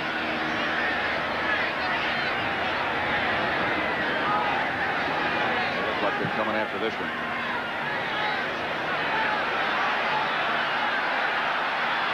Four seconds left on the clock. High kick chases McKinnon back to the three. He drops it, picks it up, and is down at the 10. There's a flag down there at the kicker again. And he gets up limping. It's going to going to be roughing the kicker again. This is when you get a little shell shock, not only a punter, but you start getting shell shock to rush anymore. Running into the kicker, the defense. Two men hit him. Five yards, first down. I think only one man hit him. Doesn't make any difference how many hit him. If one hits him. Duerson. Yeah, Ben Dreith said two hit him. Watch here, it's Duerson that really hits him. He figures the last time I didn't hit him, this time I'll get him, but really it doesn't do any good to rush if you're going to come up with a penalty. That's the third time they've been called for roughing the kicker. In one half of football. And so Steve DeBerg and the offensive unit come back on the field. And he'll take over there at the Bear 43. Just looking at that defense standing down there, they're starting to look tired. They'll be glad to see it when halftime comes. They're trying to get some oxygen in those bodies. And I'll tell you, that's maybe one way to get this Bear defense is to just keep them on the field. And put them in hot weather. 23-14 the score. Here's DeBerg and Wilson, and they swarm on him again. McMichael, Wilson, and Dent all in the area. The fourth sack for Steve DeBerg. We were talking about Otis Wilson being a down lineman. Here he is on first down. You see here, he's not a linebacker. He's down right here, coming, just coming on a pass rush. Again, he runs right by Ron Heller. See, he's down there in a stance. He just runs to the outside and just sprints and beats him to the quarterback. He and McMichael arrived at just about the same time. And they are frustrating Steve DeBerg. Steve may need a hot bath tonight. Don't forget next Saturday, college football coming up. Syracuse against Pittsburgh live at 2.30 Eastern Time. Syracuse ranked number nine before the polls are out this week. I'm sure they'll move up. I'll tell you, you know, with that that win they had a week ago against Penn State, they look like a, a power, this Syracuse Orange. They might also have uh, a lot of conversation, of course, about the Heisman Trophy. They might have one.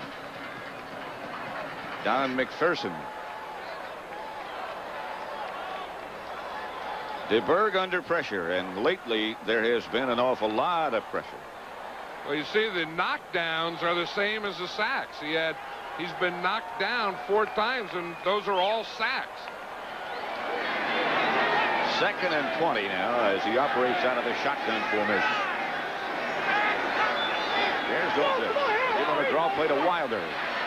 Wilder, as another penalty flag comes flying out, gained five yards, did Wilder. This Bear defense may be getting a little tired, but they're also taking over the game right here.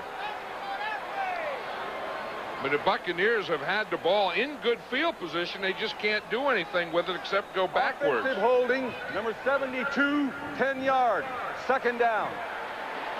Rob Taylor. You know, there must be something, John, about that Bear uniform because when we did the replacement game against uh, New Orleans, even though it wasn't the real Bears, they played with the same kind of temperament, the same kind of aggressive nature. Well, I think a lot of that has to be attributed to the coaching staff. And I think that's where it comes from. I mean, you know, Vince Tobin, the defensive coordinator, I think it all starts there with the organization. I think with Mike Ditka, the type of person he is, the way he coaches, the things that he wants, the tradition of the Bears. And I think there is a lot to that. When you put that uniform on, that's what you become. Second and 30 plus. Somebody jumped offside. I think it was Dent. DeBerg incomplete. Down to six seconds on the clock in the first half. But Dent jumped offside. Even the penalty flag looks better on grass. I'll tell you, it does. Defense That's a good one. Five-yard penalty, second down. Yeah, I think that that was on Richard Dent. Rob Taylor, who's blocking Richard Dent, I think has had three penalties in this first half. And, you know, if you look at that, great defensive players will draw penalties.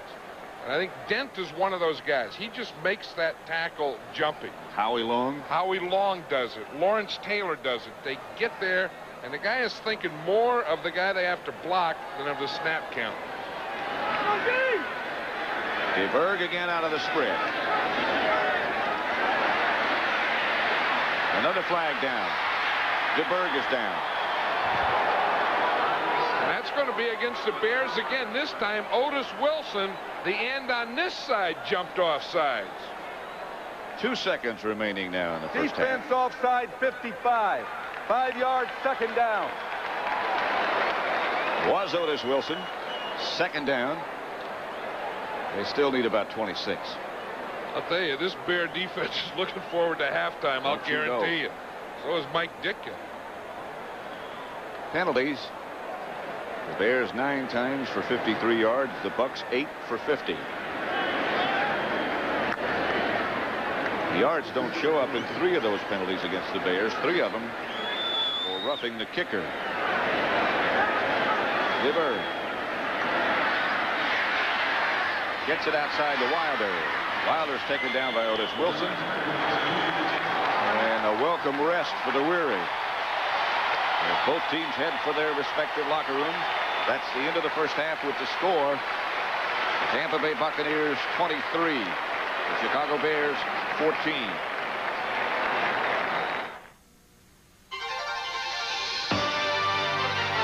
Said I'm either going to slip Jim McMahon in in the second quarter sometime or start him in the second half. So I think his starting the second half really isn't because the Bears offense didn't do it or Tom I think that was planned. Dennis Gentry feels that line drive kickoff and is cut down at the 28-yard line. 24-yard return. He's stopped by Kevin Murray. And Jim McMahon, for the first time in almost a year, is the Bear quarterback. Tell you something. I I think that the obviously when he wasn't in there, isn't in there, the Bears miss him. I think all football misses McMahon. Well, there are 15,000 Chicago Bear fans here today. They're making a lot of noise for Jim McMahon. Neal Anderson and Walter Payton behind him. Moorehead moves in motion, pitches back to Payton. Got a couple. But the pursuit was excellent by the Buccaneers. McMahon looking over for the signal from the sideline. Tomczak played the entire first half, and Jim McMahon starts the second. Well, you know, Jim McMahon has passed all the tests of being able to throw the ball, and of course the one he has to pass now is can he take that hit? He was playing basketball, and the fridge hit him in a basketball game, hit his shoulder. He came off of that one, but he hasn't been hit yet in a year or two. Said it's a little sore, but not from the injury. Here's McMahon from behind, gets it outside just at the last second. They might say he's in the grass. It was in the direction of Walter Payton. Winston Moss put the heat on. Well, they're going to find out right away whether or not he can take a hit. And the toughest hit for any quarterback is that blind side, the side that he doesn't see. Right there where Moss is coming from. Moss grabs his left shoulder, spins him around, and McMahon gets rid of the ball. I got the impression a little bit, John, that Moss might have had a chance to unload on him and didn't. Well, Moss is a rookie. Obviously, he hasn't played against McMahon. He's probably read about, a lot about him. Third down now. It's Gentry in motion. McMahon operates out of the spread, has time, and he comes out of it. And is tripped up, and he's very close to a first down. A pickup of eight, and I think he got it. I think he does too. That's one thing about Jim McMahon, and that's what he says in the other plays. He sees so much more. And the one criticism of Tomczak was that he doesn't see like McMahon. McMahon sees every. He sees this hole right here. Now look, he just takes a peek to the left to see where that first down is, and bap, he slides to get just over it. And then he's looking. He's aware. He's a very aware person. Not just on the field. Oh, he's aware wherever he goes. I'll guarantee you that. Back to throw again is McMahon. with time swings it outside to Payton. Payton might have gotten a yard out of the whole thing. Ervin Randle was the first man there. Maybe no gain. You know, he's thrown the ball to Payton. He's handed it to Payton. The last time he was there, Payton was the guy. Now he has Neal Anderson back there, who he hasn't played with. He has Ron Morris as one receiver who he hasn't played with. You got to get to know those guys. Heck, they've been on strike and stuff. Morris comes out wide to the left this time. Gault to the right. He's looking at Gault. He has Gault. Pretty good throw there. That had some zip on it. It's funny how you come in and you're trying to get confidence. So you work the guys that you're used to. We said he, he threw to Walter Payton. Now he comes right back and he throws to Willie Gault. Now that's pretty good for Gault. You know, that's something that he hasn't done, is catch the ball with his hands out in front of his body. Well, he really had no choice there. It was so high. Everyone knows that he can go deep. And Yep. everyone knows that he has the speed, he can do those things. But to be a great receiver, he has to catch more of those things. First and 10 Bears at midfield. McMahon on first down. Down the middle, complete. To Ron Morris, and that's another good throw. And now he has the confidence. I mean, he didn't come in like the old Mad Mac. He came in and he was just saying, I wonder what this is going to feel like. And now you can just look at his face and feel it. He's hit Payton on a little short one. He comes back lap. He hits Gault. Then he goes a little deeper to Morris, just working the ball right down the field. And as he does, you can just see a confidence come in underneath that number nine in the front. First down Bears at the Buck 25. Tampa Bay leads 23-14. There's Anderson in motion. McMahon rolls, throws to Anderson, incomplete. Hit by Ricky Woods. One thing about McMahon, when he when he started practicing last week, the Bears came back a week ago Thursday, and he was worried because he was throwing spirals. You know, he's always had a little flutter in that ball. I said, how you feel? Said, sometimes I feel too good. My ball's starting to spiral.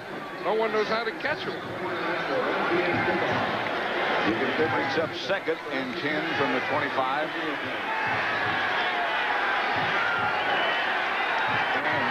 And to his right on the flank. It's Morris in motion. Back to throw. Here comes the blitz after McMahon. He gets rid of it. Gets complete to Emery Moorehead. Picked up four. Scott Brantley made the stop. You know, the interesting thing about this drive, Pat, is how McMahon comes in. We talk about his awareness. He's thrown a ball to Walter Payton. He's thrown one to Gault. Thrown one to Morris, his two wide receivers. Then he goes to Moorehead, his tight end. He has used all his weapons, both wide receivers, tight end, and running back, all on this drive. Keep them all happy. That's what you call spreading it around. Third down at six at the 21. And out of the spread this time.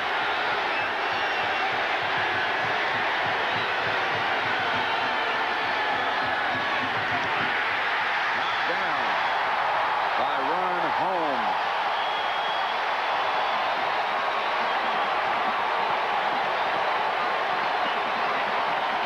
This is something. Holmes is coming on the outside. Covert just looked at him. It looked like it was a sprint to that side, and no one blocked Holmes. I don't know what Jim Covert was doing, but if we look at it again, here's Covert. He blocks, he looks this way, and whap, Holmes just runs right by him. Look at him. Covert doesn't even block him. Kevin Butler from 46 yards with Jim Harbaugh holding. No good. Wide right. And so the Buccaneer lead remains 23 to 14.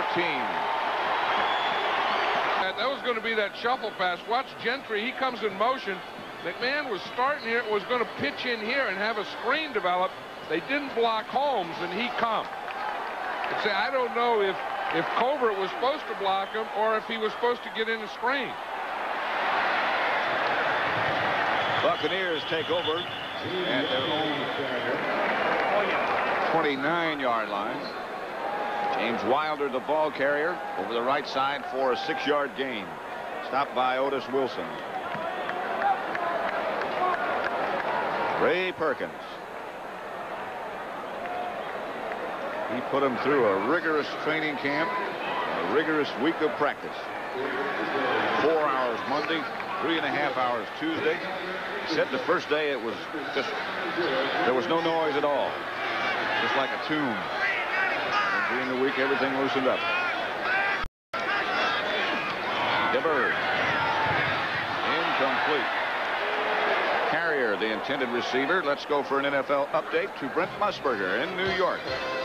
Well, Pat, Philadelphia adding to its lead on the Dallas Cowboys. They've scored two touchdowns, kicked a pair of field goals, and right now it is 2013. Randall Cunningham having a big day. He has been the difference so far in the game. Let's go back to Pat and John. Tampa Bay leading the Bears 23 to 14. We're in the third quarter with 9-11 left to play.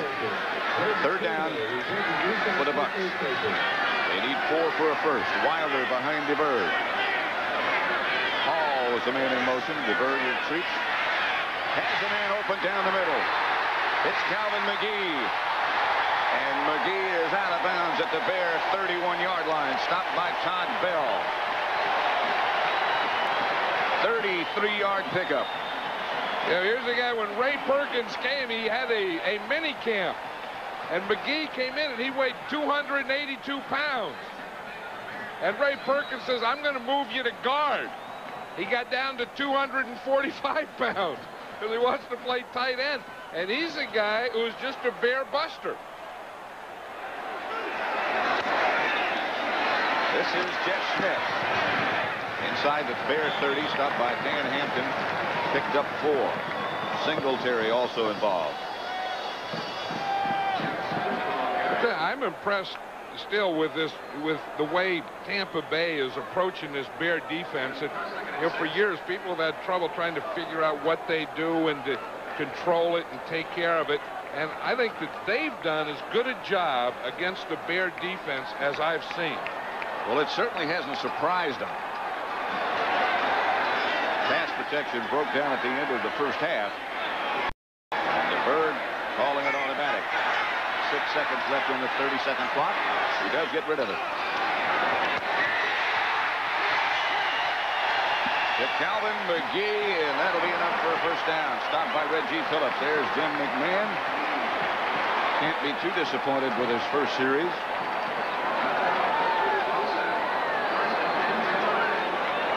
And 10 Tampa Bay. Walter Payton playing perhaps his last visit to this stadium and to all the road games around the league. He hasn't said definitely, just a perhaps. Well, someday he would like to own a franchise in the NFL, and I bet he does. Draw play, middle to Wilder. William Perry stopped him after a pickup of three.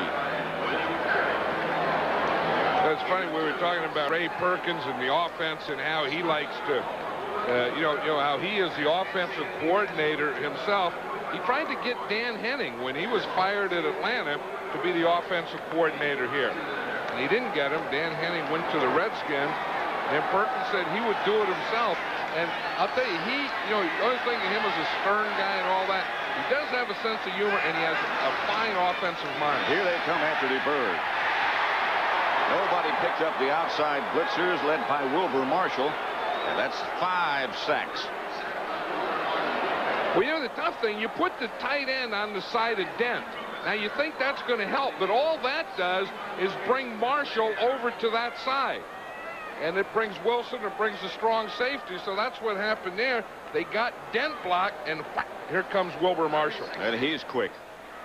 Just as quick as Dent. Third and 16. The ball's at the Bear 23. They're in field goal range.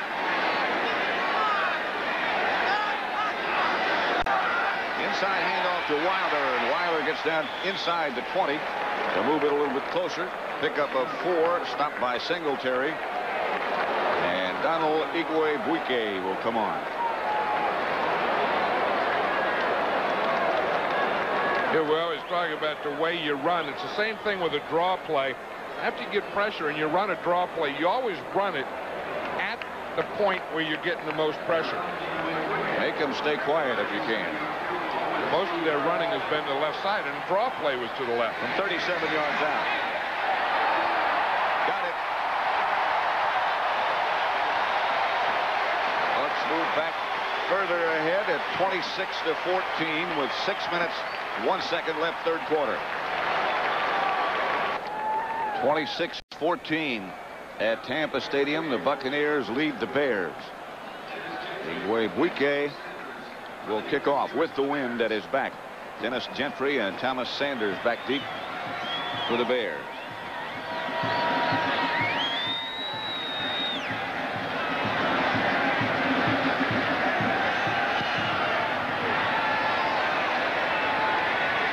The one.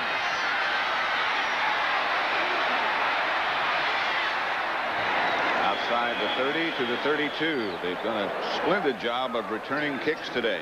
Steve Holloway brought him down. Atlanta 20, Houston 20, third quarter. Cincinnati over Pittsburgh by 10. Buffalo coming back against the Dolphins. The Jets lead Washington now 13-7. I figured it'd be a very high-scoring game. First down Bears. Jim McMahon, the quarterback. They operate from their own 33-yard line. Starts Anderson in motion and gives to Anderson coming back. That's an unusual play. Anderson starts in motion and they run that counter play from that motion. That is an interesting play. That's another form of a counter play. But as you said, Pat, they just did it off motion. Let's watch it here. We'll see the motion. Anderson starts this way, passes McMahon, pats him to let him know when he's passed him, stops, and then comes back. Watch him. He starts in motion, and he just lets him know that he's there. Then he stops, and then let the guard and tackle and tight end pull. Straight ahead was Anderson that time. One or two. Might be a little bit short of the first down. He stopped by Kevin Murphy. You know, the interesting thing about that counter that we just watched by Neal Anderson is that when you go in motion and run the counter off the motion, that you can pull not only your off guard, back, but you can also pull the tight end. Get three of them out yeah, so then then you got a uh, what you call a triple load and you also get a first down. on the next play. Both carries by Neal Anderson. First down Bears. They move up closer to midfield. Operate this time from their own 43. Time of possession, Tampa Bay over 25 minutes. The Bears with just 14. Well, the last time they had the ball and McMahon was in there, he had nine plays for 52 yards. Of course, they didn't get anything out of it. To Payton. Jackie Walker. One thing that Ray Perkins does, he's got a fine crew of linebackers, and he likes to give them all some playing time. He keeps them all in the game, keeps them rotating, wants to keep them fresh, which is a good idea. Well, he was saying yesterday that he thinks the strength of his team that he's building now is his defense. As he said specifically, it's a linebackers group. And as you say, he's played six or seven linebackers today and just keep putting them in and out, keeping them fresh, and, and they run all over the field, these guys. Second and seven. Morris and Gault, the wide receivers, and Anderson again in motion. Man sprints out to his right. Chased by one man, throws back, crosses body to Dennis McKinnon, and that would indicate that his shoulder is okay, because that's a tough throw. I was going to say, and he also got hit. You know, the toughest thing that they have to do with that shoulder is run to the left and throw. But the big thing and his big test is how is he going to take a hit? Let's watch how he takes it. Whap, he throws, and there he gets one. I think after you come off an injury like that, you get up and you just test all your parts. So far, the parts seem to be functioning. First and 10 at the 45. They're in Buccaneer territory. They don't show blitz. Three-man front. Here comes the counter play again. The ball is loose. It was Anderson, and they're off to the races, but they're going to say he was down. And now the ball is loose again, and the Bears get it back. But it's all going to be bring it back where it all started to break apart. John Cannon. Well, that that that that was that interesting thing. See, they're pulling all side guard, tackle, tight end. The thing that kills that though is the penetration. When you get penetration in there, then you can't keep by. But watch them. They start that way. Here comes the guard, tackle, tight end. There goes the penetration. You have to block that backside before your back gets over there with that triple load. They don't leave anybody to block that backside. You don't have any guys. There's no guys left. Second and 17. You have all the guys here, you bring all the guys here, then you don't have any guys there.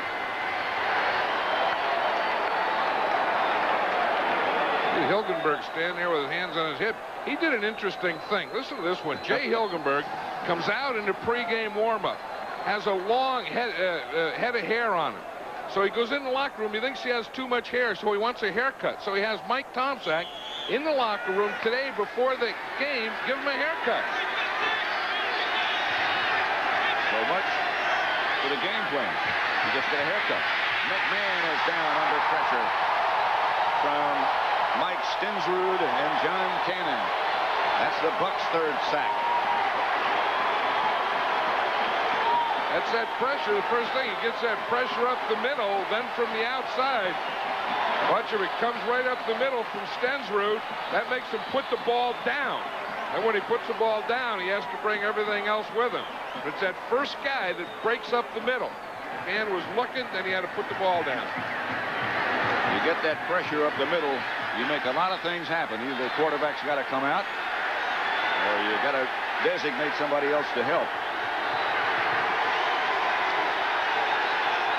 Gentry in motion. Pressure on McMahon. He is hit this time in the pass. Is intercepted. Rick Woods. Woods has got a couple of blockers in front of him, and he gets back into fair territory. Neal Anderson finally stopped him. McMahon really took a joke.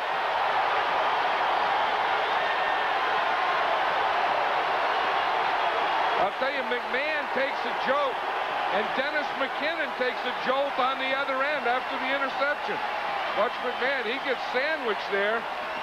He looks like he's okay. Then Dennis McKinnon got it down on the other end. He's just oh, getting up. Oh, boy. McKinnon really got walloped by Bobby Kemp.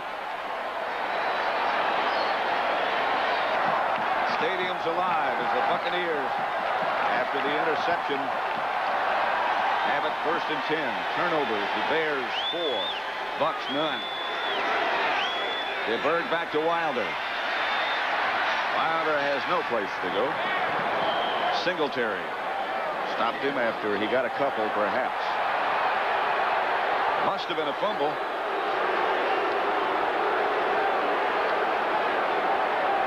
I don't remember the Buccaneers yet running a play to the right. It seems like every play that they've run has been to the left side of their offense.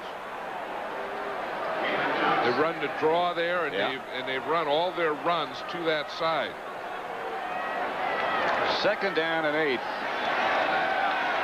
They're 45. 35 seconds left to play in the third quarter. Smith. DeBerg back to throw. Incomplete. Had it and lost it. Mark Carrier. I'll tell you who did a good job on this as a center. Once Singletary up here, he's ready to jump. That's tough. You got to snap the ball and then boom, get him and stop him right there in the hole. Watch Randy Grimes. You see that? Get that snap. Snap that ball up there and then come off on that same shoulder and get him. Brings up a third down situation, third and eight. 27 seconds left now in the third quarter. Bucks leading 26-14, and here they come after him again. The ball comes out of there, but he was in the grasp and down. Richard Dent again led the surge by the defense, and DeBerg had no chance whatsoever. A loss of 12. Duerson also on the rush. I tell you, they're going to they're going to bring them. You see up on top from that right side, they have an overload. They have four guys coming from that side. Dent again taking that looping outside rush and getting there. Of course, he has Otis Wilson, Singletary, the whole bunch of them looked like they were there in that play. See back to punt. Better. McKinnon at the eight. He's already returned one for a touchdown. This one is well covered. Garcia's best punt of the day, one of 48 yards.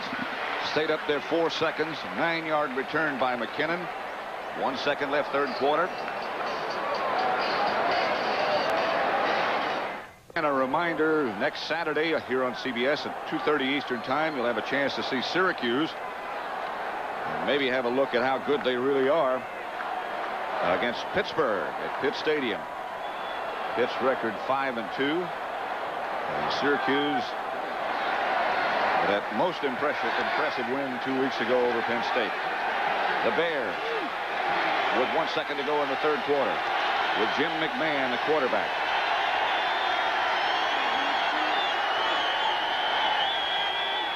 And back to throw. Intended for Morris, incomplete. That's the end of the third quarter with the score. The Tampa Bay Buccaneers 26, the Bears 14. We now pause for a word from your local station. Pat Summerall, John Madden. We're getting ready to start the fourth quarter at Tampa Stadium. Sold out. And enjoying their Buccaneers for once.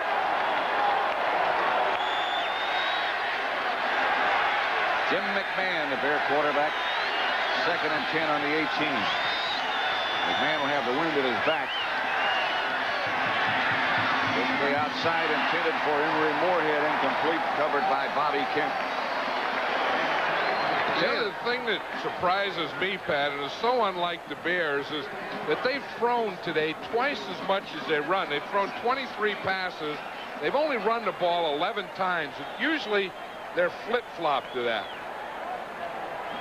Another surprising thing is the amount of pressure the front three for the Buccaneers have been able to put on the Bear quarterback.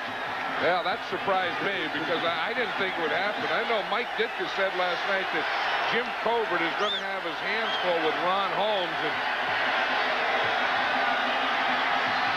they after McMahon, and they got him down.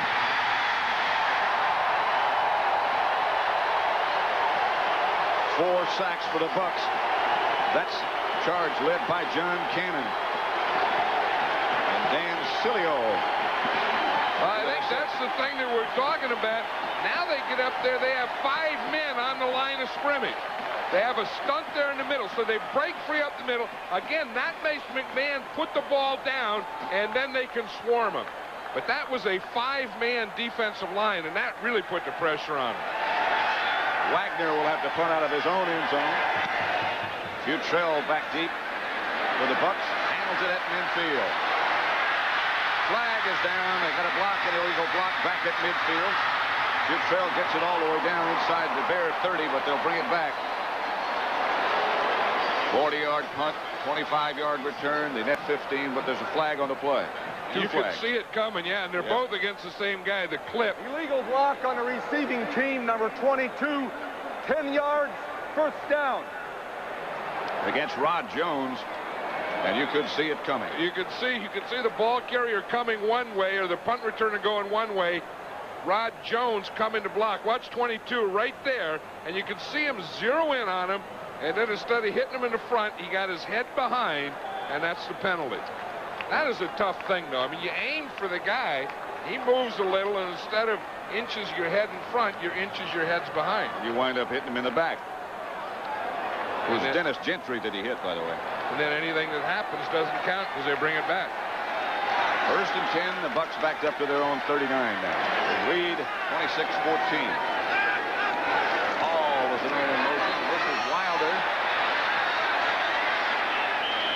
Everything knocked backwards. Wilber Marshall made the tackle. Well, they got penetration over on that side. That's the first play that I can remember running to the right side. And they're going to end up with about a five-yard loss. So maybe that's why they don't run to the right side. Maybe that's wise. They might have run one more with Smith early. But they certainly have favored this direction. New Orleans has gone ahead of San Francisco. That, I think, is a good organization led Yep. by Jim Finks and a good coaching staff led by Jim Mora. On second and 11, DeBerg fires. Complete. It's Mark Carrier. He was down. Reggie Phillips. They going to bring this back? I think they're just bringing it back to the point that he caught it. I, I think they're saying it was a legal catch, but that he was down there. It should be enough if that's where they mark it for a first down. That's where they're marking it right there, and they're saying that this part of it is illegal.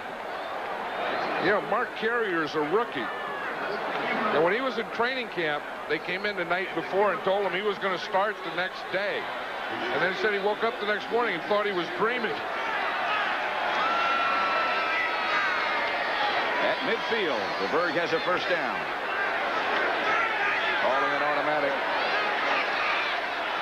Back to throw it. And hung on to by Mark Carrier. That's quite a catch. And a gain of eight. Vestee Jackson was the defender.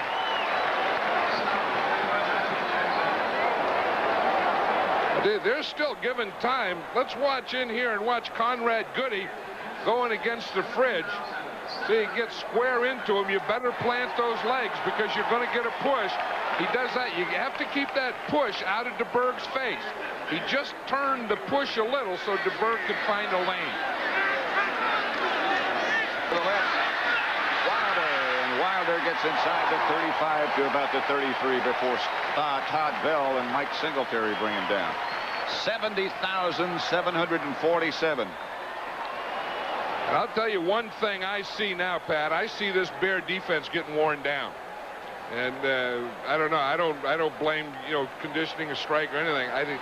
I think you get out there and you play. And I think these Tampa Bay Buccaneers have done it. I don't think it's the layoff. I don't think there's any excuses. I think these guys, for three quarters so far, have gone out there and whipped them. DeBerg again. Calling an audible. Dropped the ball on the exchange and got it back. Singletary jumped on top of him. That figure I gave you a minute ago, 70,747 is the attendance. Stadium seats just over 72. There were a few no-shows, but still a marvelous crowd. I think when Ray Perkins gets settled in here and gets his team built up, and we can see what he's already started here, I think this is going to be a, a hotbed of professional football. I, I think this will be a, a, a real place and a real scene. Here comes the blitz. DeBerg gets it off. Pass complete to Hall. Now now for an update, let's go to Brent Musburger in New York. Well, Pat, John talked about the Tampa scene. There's going to be one in New Orleans, too. They were down 17-3. This was the punt block. And look at him. Dash underneath it. And Alvin Toles in. And now the Saints lead San Francisco 19-17. And, Pat, the Saints could be tied for first in that division if this holds up. Back to Pat. So could the Buccaneers be tied for first if they can hang on here. And they lead 26-14.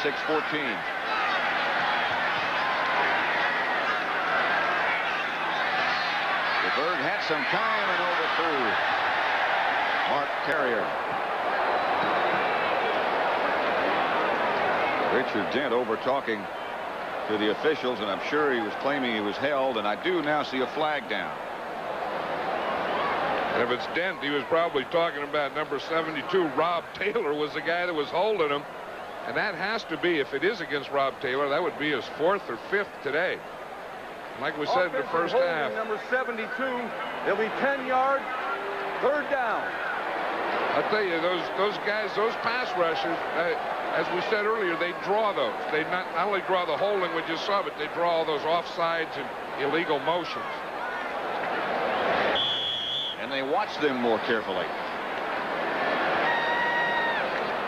There it is. You're going to see it right here. Here's Rob Taylor here, and here's Dent coming here. You see, when Dent gets outside, that makes it tough because now he has to get set up. Then Dent gives him the inside move, and he just puts his right arm up there. That's tough. I mean, that's tough for a tackle. That's tough to blame him for that. As quick as Dent is. Here they come again. DeBerg just does get rid of it. He's got a man wide open. If he had just had a little time, and a flag goes down again. Gerald Carter was the intended receiver, and he was all alone. I'll tell you, DeBerg took that pressure again from that backside. He had to get rid of the ball, but as you said, Gerald Carter. Foul on both teams. Referee Ben Dreith, he gets mad when you do something like that. But watch this rush from the backside. There's Wilber Marshall, 58. He'll be the first guy there. He hits him right after he throws it. And there's Singletary. That's where the fight or the skirmish started that caused the penalty. Now here's the wide open Carter. He ran right by Reggie Phillips. He Ooh. sold him on that inside move. Phillips went inside, and Carter was wide open outside. The DeBerg just didn't have the time. Less than 10 minutes left to play now. Tampa Bay leading Chicago 26-14.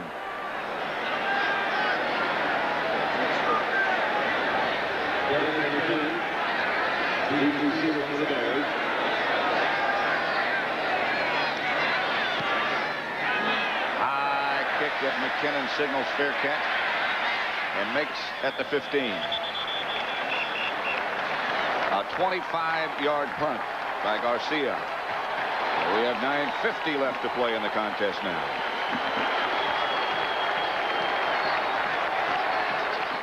Six, the Chicago Bears 14. We're in the fourth quarter with 9.50 left to play. Chicago's committed four turnovers. Time of possessions, Tampa Bay 31.03, the Bears 18.52. Wike got it two field goals. And I think uh, your hat has to be off to the Tampa Bay Buccaneers. That's what I think. I mean, there can be a lot of reasons. There can be a lot of excuses. But to me, the way Tampa Bay has played for these three quarters, there's no excuses. I mean, they went out there, they whipped them in the line, they whipped them in the backfield. The quarterback has whipped them. They've been whipped every way you can be whipped thus far. It is first and 10 Chicago at their own 15. Jim McMahon still the quarterback. And he has taken some licks and survived, and he's back to throw again.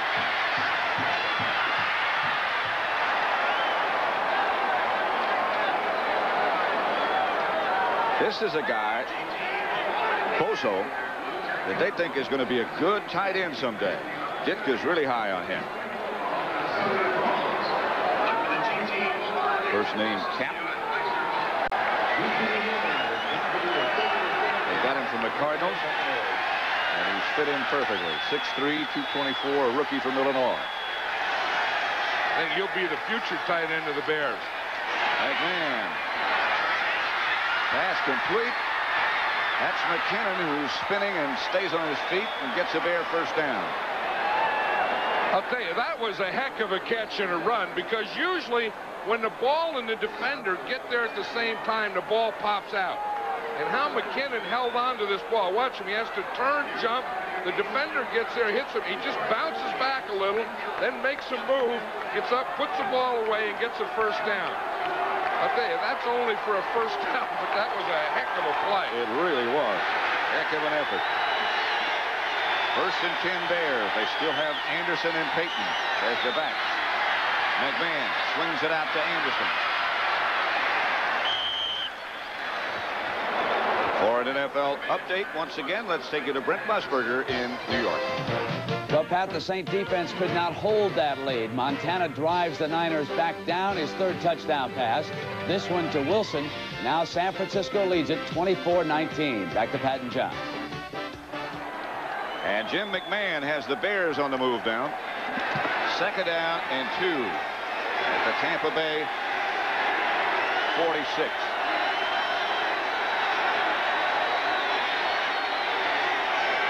Fake to Payton. McMahon just gets rid of it. just overthrows Willie Gault. He had him. Well, that was the one. It was a smart play. You're, you're going to go for it because time is starting to be important here. Down 12 points, you need two touchdowns. Now, there's 7 minutes, 45 seconds to go. So you can't spend all your time knocking time off the clock and methodically taking the ball down the field. Somewhere you got to get a quick shot when you need to. Third and two. Tomczak signaling into McMahon. Right here, your debate has to be, hey, we need a first down. Get that and then start taking your shots again. That's what I would do. And with, again, being down two scores, if you don't make it on third down, you're going to go for it on fourth. You know that. McMahon. Back to Payton. Payton will have the first down and more. And gets it out of bounds. A gain of 10. Chris Washington knocked him out of bounds. Buffalo and Miami now tied in the fourth quarter. And Detroit coming back against Green Bay. Jets continue to lead Washington 16-14 in the fourth. Mike Ditka's team struggling to get back in the contest. 26-14. Tampa Bay leads the Bears. Clock is running. Seven, just less than 17.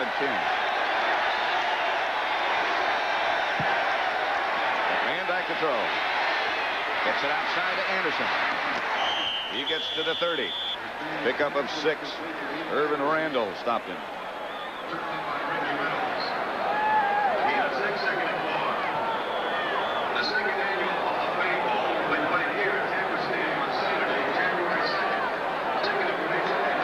Coaches, we talked to them yesterday, were about as relaxed as I've seen either one of them.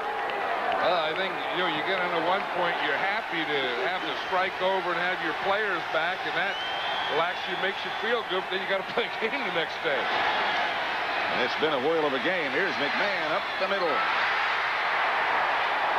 There's tight end Boso again.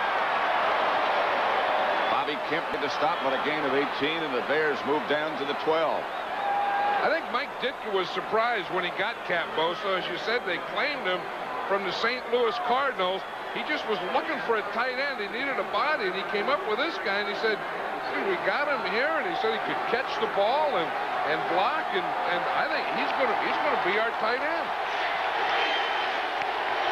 Morris to the left, Gault to the right.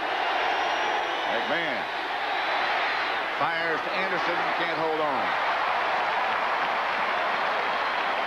Started upfield just before the ball got there. This is good experience for McMahon. I don't know, you know, I mean, you need an experience. You have to get back, and when you get in this type of game on the road, no matter what you say about anyone, you have to be rusty. I mean, he's been going through surgery, he's been going through rehabilitation, not much training camp. He really didn't do anything in training camp, and then a strike, and then to come out here and, and, and play a game, whatever, you have to be rusty. And really just through during the strike period is when he started to get better, health-wise. He didn't make much progress for a long time in training camp. Back to throw. Has time. Has Morris. At about the one-foot line.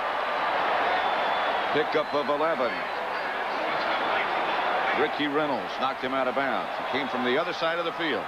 This is the guy that everyone likes, is Ron Morris. They said, Jim McMahon said he is going to be a great one. You know, and he's not one that throws those words around like that.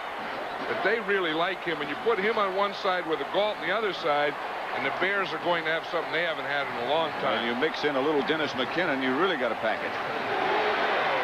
First and goal from about a foot away.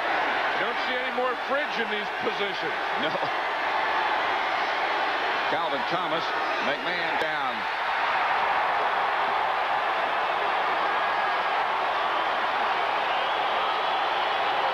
And again, you think back about that missed extra point by Tampa Bay. I'll tell you, the Bears did go get that touchdown. They still got five and a half minutes, so, so they eliminated that time thing. You watch your quarterback sneak from ground level here. McMahon just takes it right over the top. He got good blocking in there from Hilgenberg and Bortz and Thayer. and they let him just push it right in the end zone. Butler for the extra point. Harbaugh is holding. He missed it. He missed it. Wide right. Doesn't that change things around? Kevin Butler, who just missed that extra point, set to kick off for the Chicago Bears. Bobby Futrell back deep for the Bucks. 26-20, Tampa Bay leading. Futrell came out of the end zone and thought about going back, and then he had to come out. Maurice Douglas down to make the stop. Again, a reminder that next Saturday here on CBS, it'll be Syracuse with their record of 7 and 0 and their number 9 ranking against Pittsburgh's Panthers at Pitt Stadium. Pitt's record 5 and 2. Both teams have a potential Heisman candidate, Heisman Trophy candidate. Syracuse quarterback Don McPherson. Pitt may have one who's a candidate for next year. Junior tailback Craig Heyward. Two tough teams in the East. Syracuse and Pittsburgh next week right here on CBS. DeBerg asked for quiet. 26-20 the Bucks lead. Fake handoff to Wilder. DeBerg has run Hall for a first down across the middle. A pickup of 17 stopped by Duerson. That was an interesting play. They go to two tight ends, one running back, and they fake that counter play. Then they go bootleg. Then they hit their tight end, Ron Hall. That's that Redskin play, too. Remember that? Right. That's off that counter play with the old two tight ends deal. Richard Dent limped off the field. They go quickly. Bucks send Wilder over the right side. Al Harris has taken Richard Dent's place. Singletary made the stop. Wilder got four.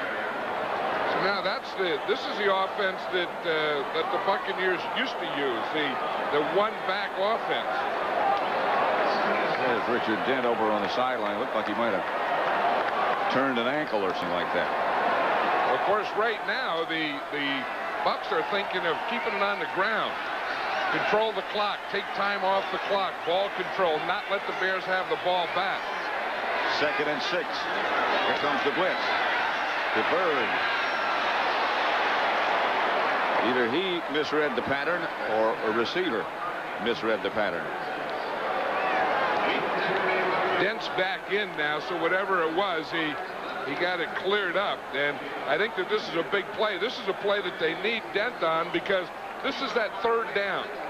And now the Bucks are either going to throw the ball or run a draw off it. So they need the pass rush in order to get the ball back. Third and six.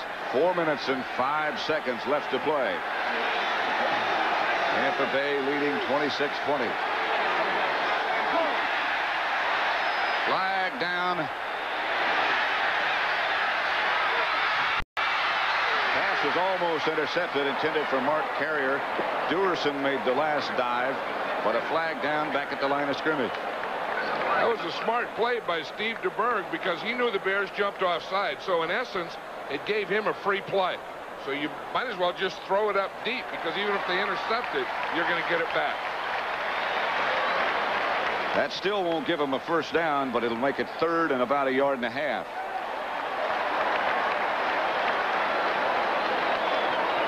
Less than four minutes. Defense was offside. Also, illegal hands to the face on a defense number of 95. Five-yard penalty, and that's a first down. Automatic first down.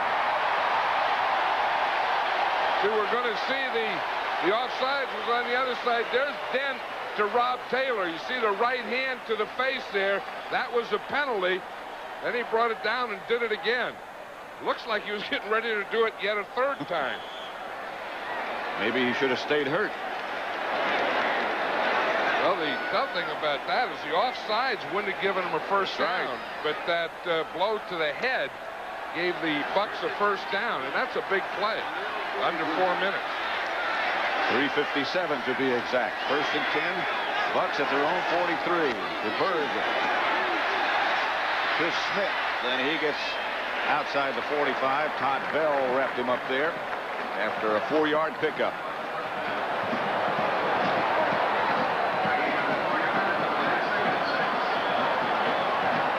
This block here that they get on Dent. He follows the guy in. Then, then he gets the block right there.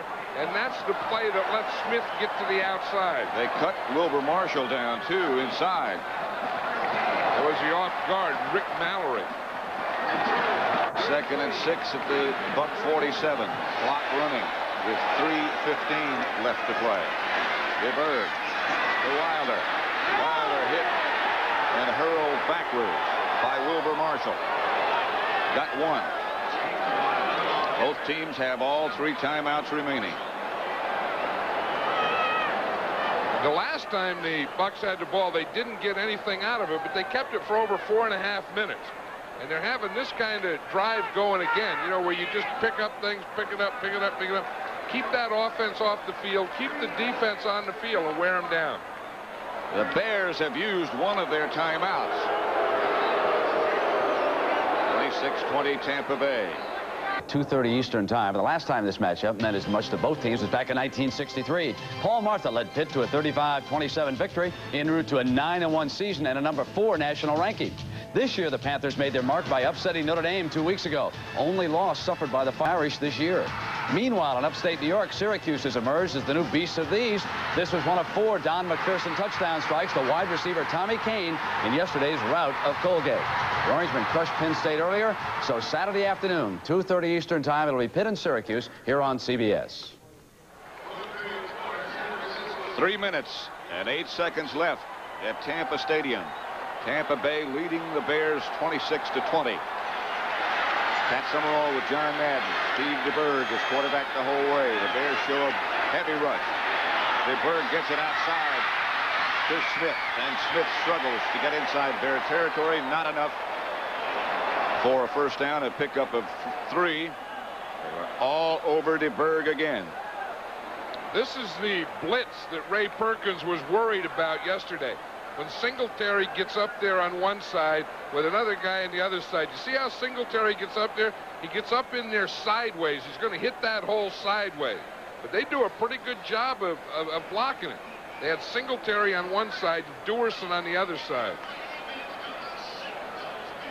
That Bear defense has been on the field a long time today.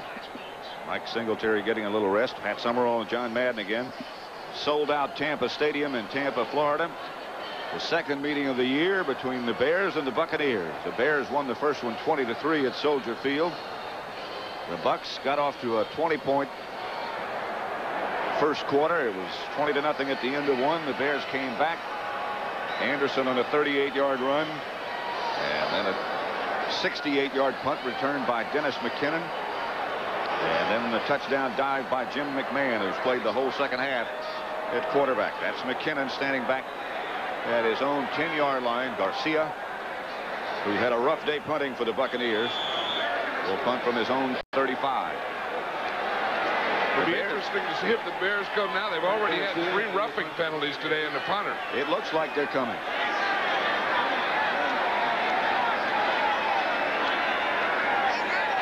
A lot of pointing going on up there.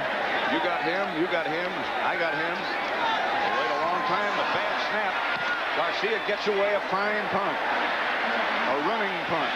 And McKinnon feels it. He's got some room and is hit down just inside the 30 where the Bears will take over with 2 minutes and 44 seconds to go. 36-yard punt. 16-yard return by McKinnon. The Steelers beat Cincinnati. Houston and Atlanta in the fourth. Detroit has really come from behind against Green Bay. 33-31, the Lions lead. Washington over the Jets now by one. 30-20, the Eagles over the Cowboys. Nobody has left. Mike Tomczak played the whole first half. Now, Tampa Bay is going to win against the Chicago Bears. I think they want to see it. The quarterback. First down, 2.44 left to play. McMahon back to throw. Has time and fires it outside to Willie Gault, who gets out of bounds and stops the clock. Enough for a first down, a gain of 19. McMahon's arm looks just fine. Well, I'll tell you here, he bought the time. See, Willie Gault can run this stuff and be so effective because those corners are scared to death of his speed. You see that Rod Jones was playing off him, afraid he was going to run deep, and what, he just cuts it off, and he's wide open. One of the things that Ray Perkins said he was looking for yesterday is a guy like Willie Gault, a burner. And then after he said that, he said, everyone is, aren't they? First down. And again, McMahon has time and gets it out to Anderson, and Anderson gets out of bounds. It's out of bounds at the 46-yard line of the Buccaneers. A gain of six. I'll tell you, the play that looms big now is that extra point block that Doesn't the it? Bears had. Remember that one was Al Harris when he was in the middle of the line and he came right up the middle and blocked the extra point because if the Bears score, they need a touchdown here, not a field goal. But if they score, they can win this game. Kevin Butler missed an extra point the last time the Bears scored. Second and four at the 46. No pressure on McMahon again. And he gets it down to Morris. And Morris is down to the 27-yard line. Clock runs, 19-yard gain. Bobby Kemp on the stop. Yeah, it's funny how how the Buccaneer defense has been so aggressive all day. And then they get ahead, then the Bears get the ball on this drive here, and they loosen everything up. How They're many- not playing aggressive. How many times do you see that happen? Gault in the corner, and he's got it. And gets out of bounds. But they'd have the two-minute warning anyway. A gain of 17. Rod Jones took him out of bounds. And that was a tough throw by McMahon. A hard pass to throw.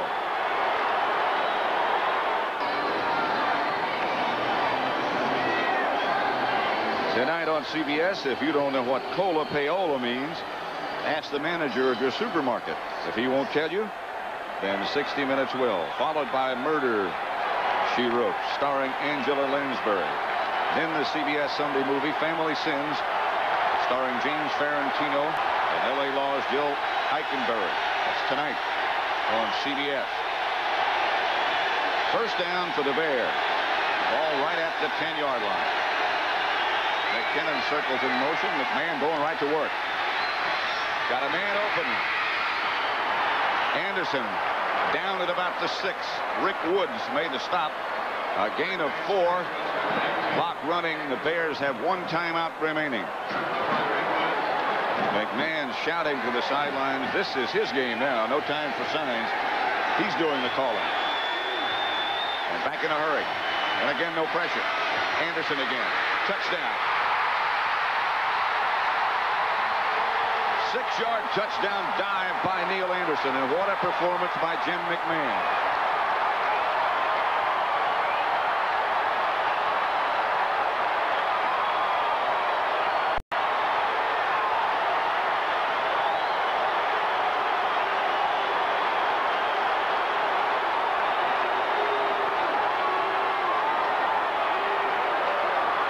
If he doesn't already own Chicago, he will now. Butler for the crucial.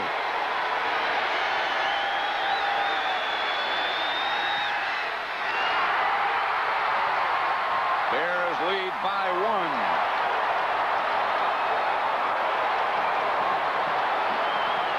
Some comeback.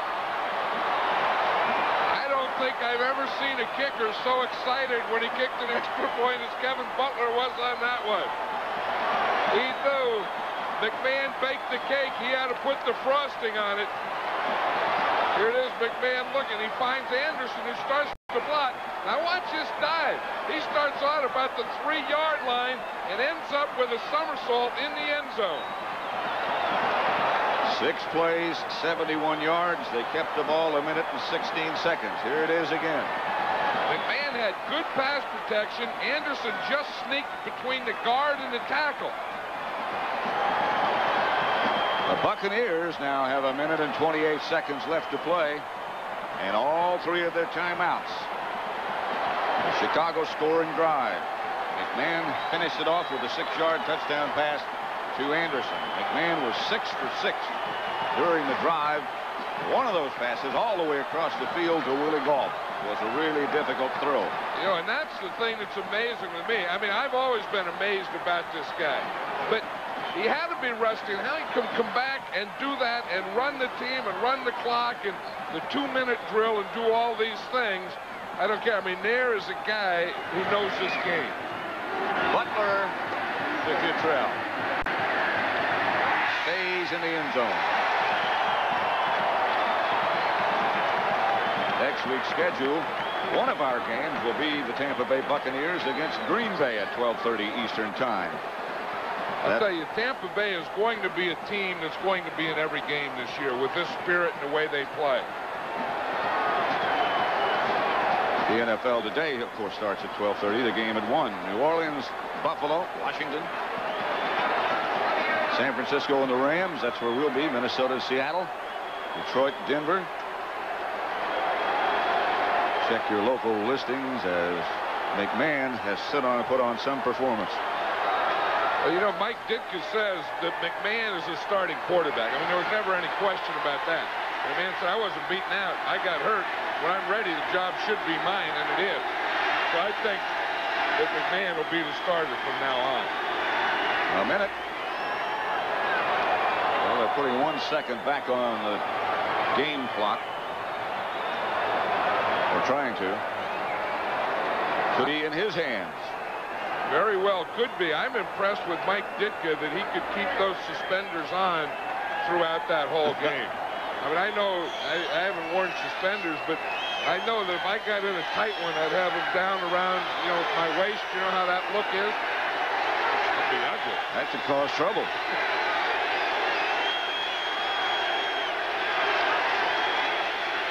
DeBerg gives on a draw play to Smith. Or Wilder, beg your pardon. And the clock moves now with a minute and 18 seconds left to play.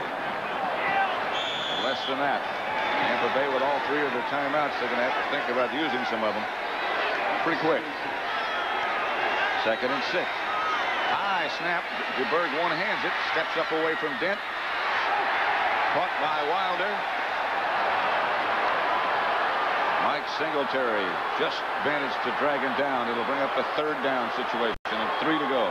You're right. The Bucks should take a timeout. They're just wasting time. That's dumb. They just take too much time there because they got to get down in scoring position. And they're and they, less, less than 40 seconds now. DeBerg. And they have all three timeouts. Gets the ball to Wilder. Now they've certainly got to take one. But it's fourth down, too. No. That's why before third down, they should take a time and get a good play. You know, because you have your timeouts. Use your timeouts to get a good play. Now they get down to fourth down, and they have to come up with a play to get that first down, or they don't need those two timeouts. Plus, now they only got 29 seconds. They burned too much time. This game is presented by authority of the National Football League and is intended for the private use of our audience. Any rebroadcast or other use of this telecast without the express written consent of the Tampa Bay Buccaneers and the National Football League is prohibited.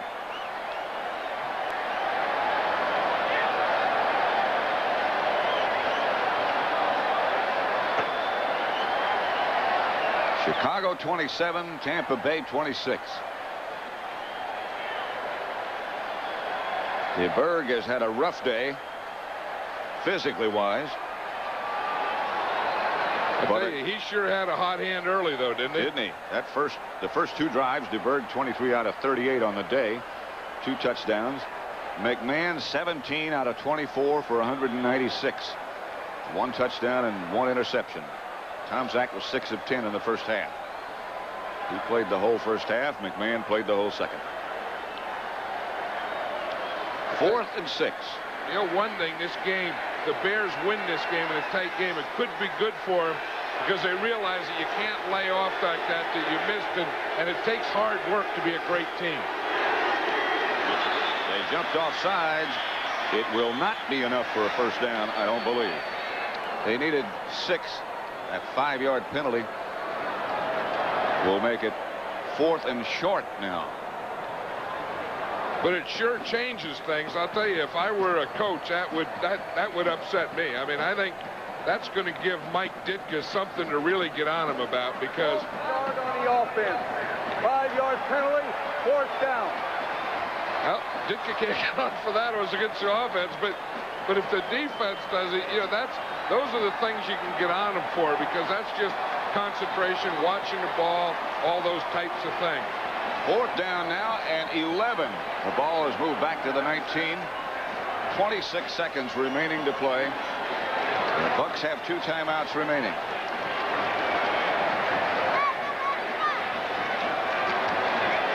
Twenty-seven, twenty-six. Missed extra point, the blocked extra point by Harris. After the Bucks' third touchdown. Some time back on the clock, back up to 29 seconds now. It'll be fourth and 11 at the 19. DeBerg will operate out of the spread. It doesn't look as if the Bears are going to blitz. If they do, it'll be Wilber Marshall coming. And Singletary now looks like he's coming. DeBerg hit by Dent. And down he goes, and that should do it.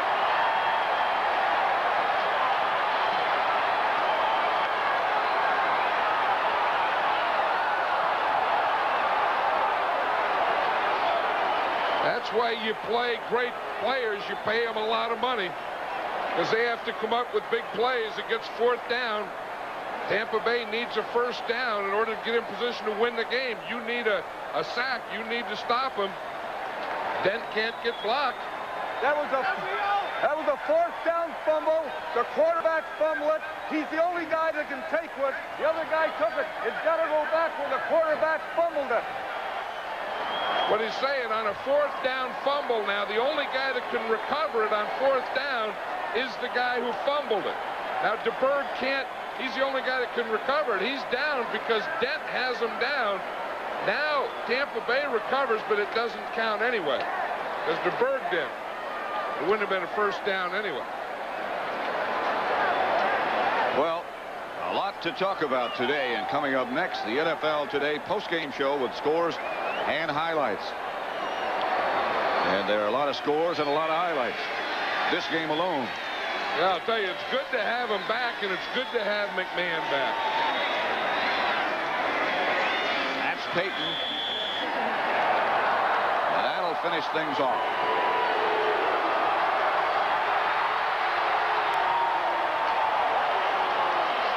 That was a tough football game. The Tampa Bay Buccaneers, you never like a loss, and it doesn't do you any good. But if you can be proud of a loss, they can be proud of the way they played this Bear team today. Because for three and a half quarters, they whipped them. That evens their record at three and three. And the Bears improve their record to five and one. A sellout crowd enjoyed one pleasant afternoon of football weather-wise, but disappointed to see the home team lose. John Madden, this is Pat Summerall saying so long from Tampa Stadium in Tampa, Florida, where the final score was Chicago 27, Tampa Bay 26. You've been watching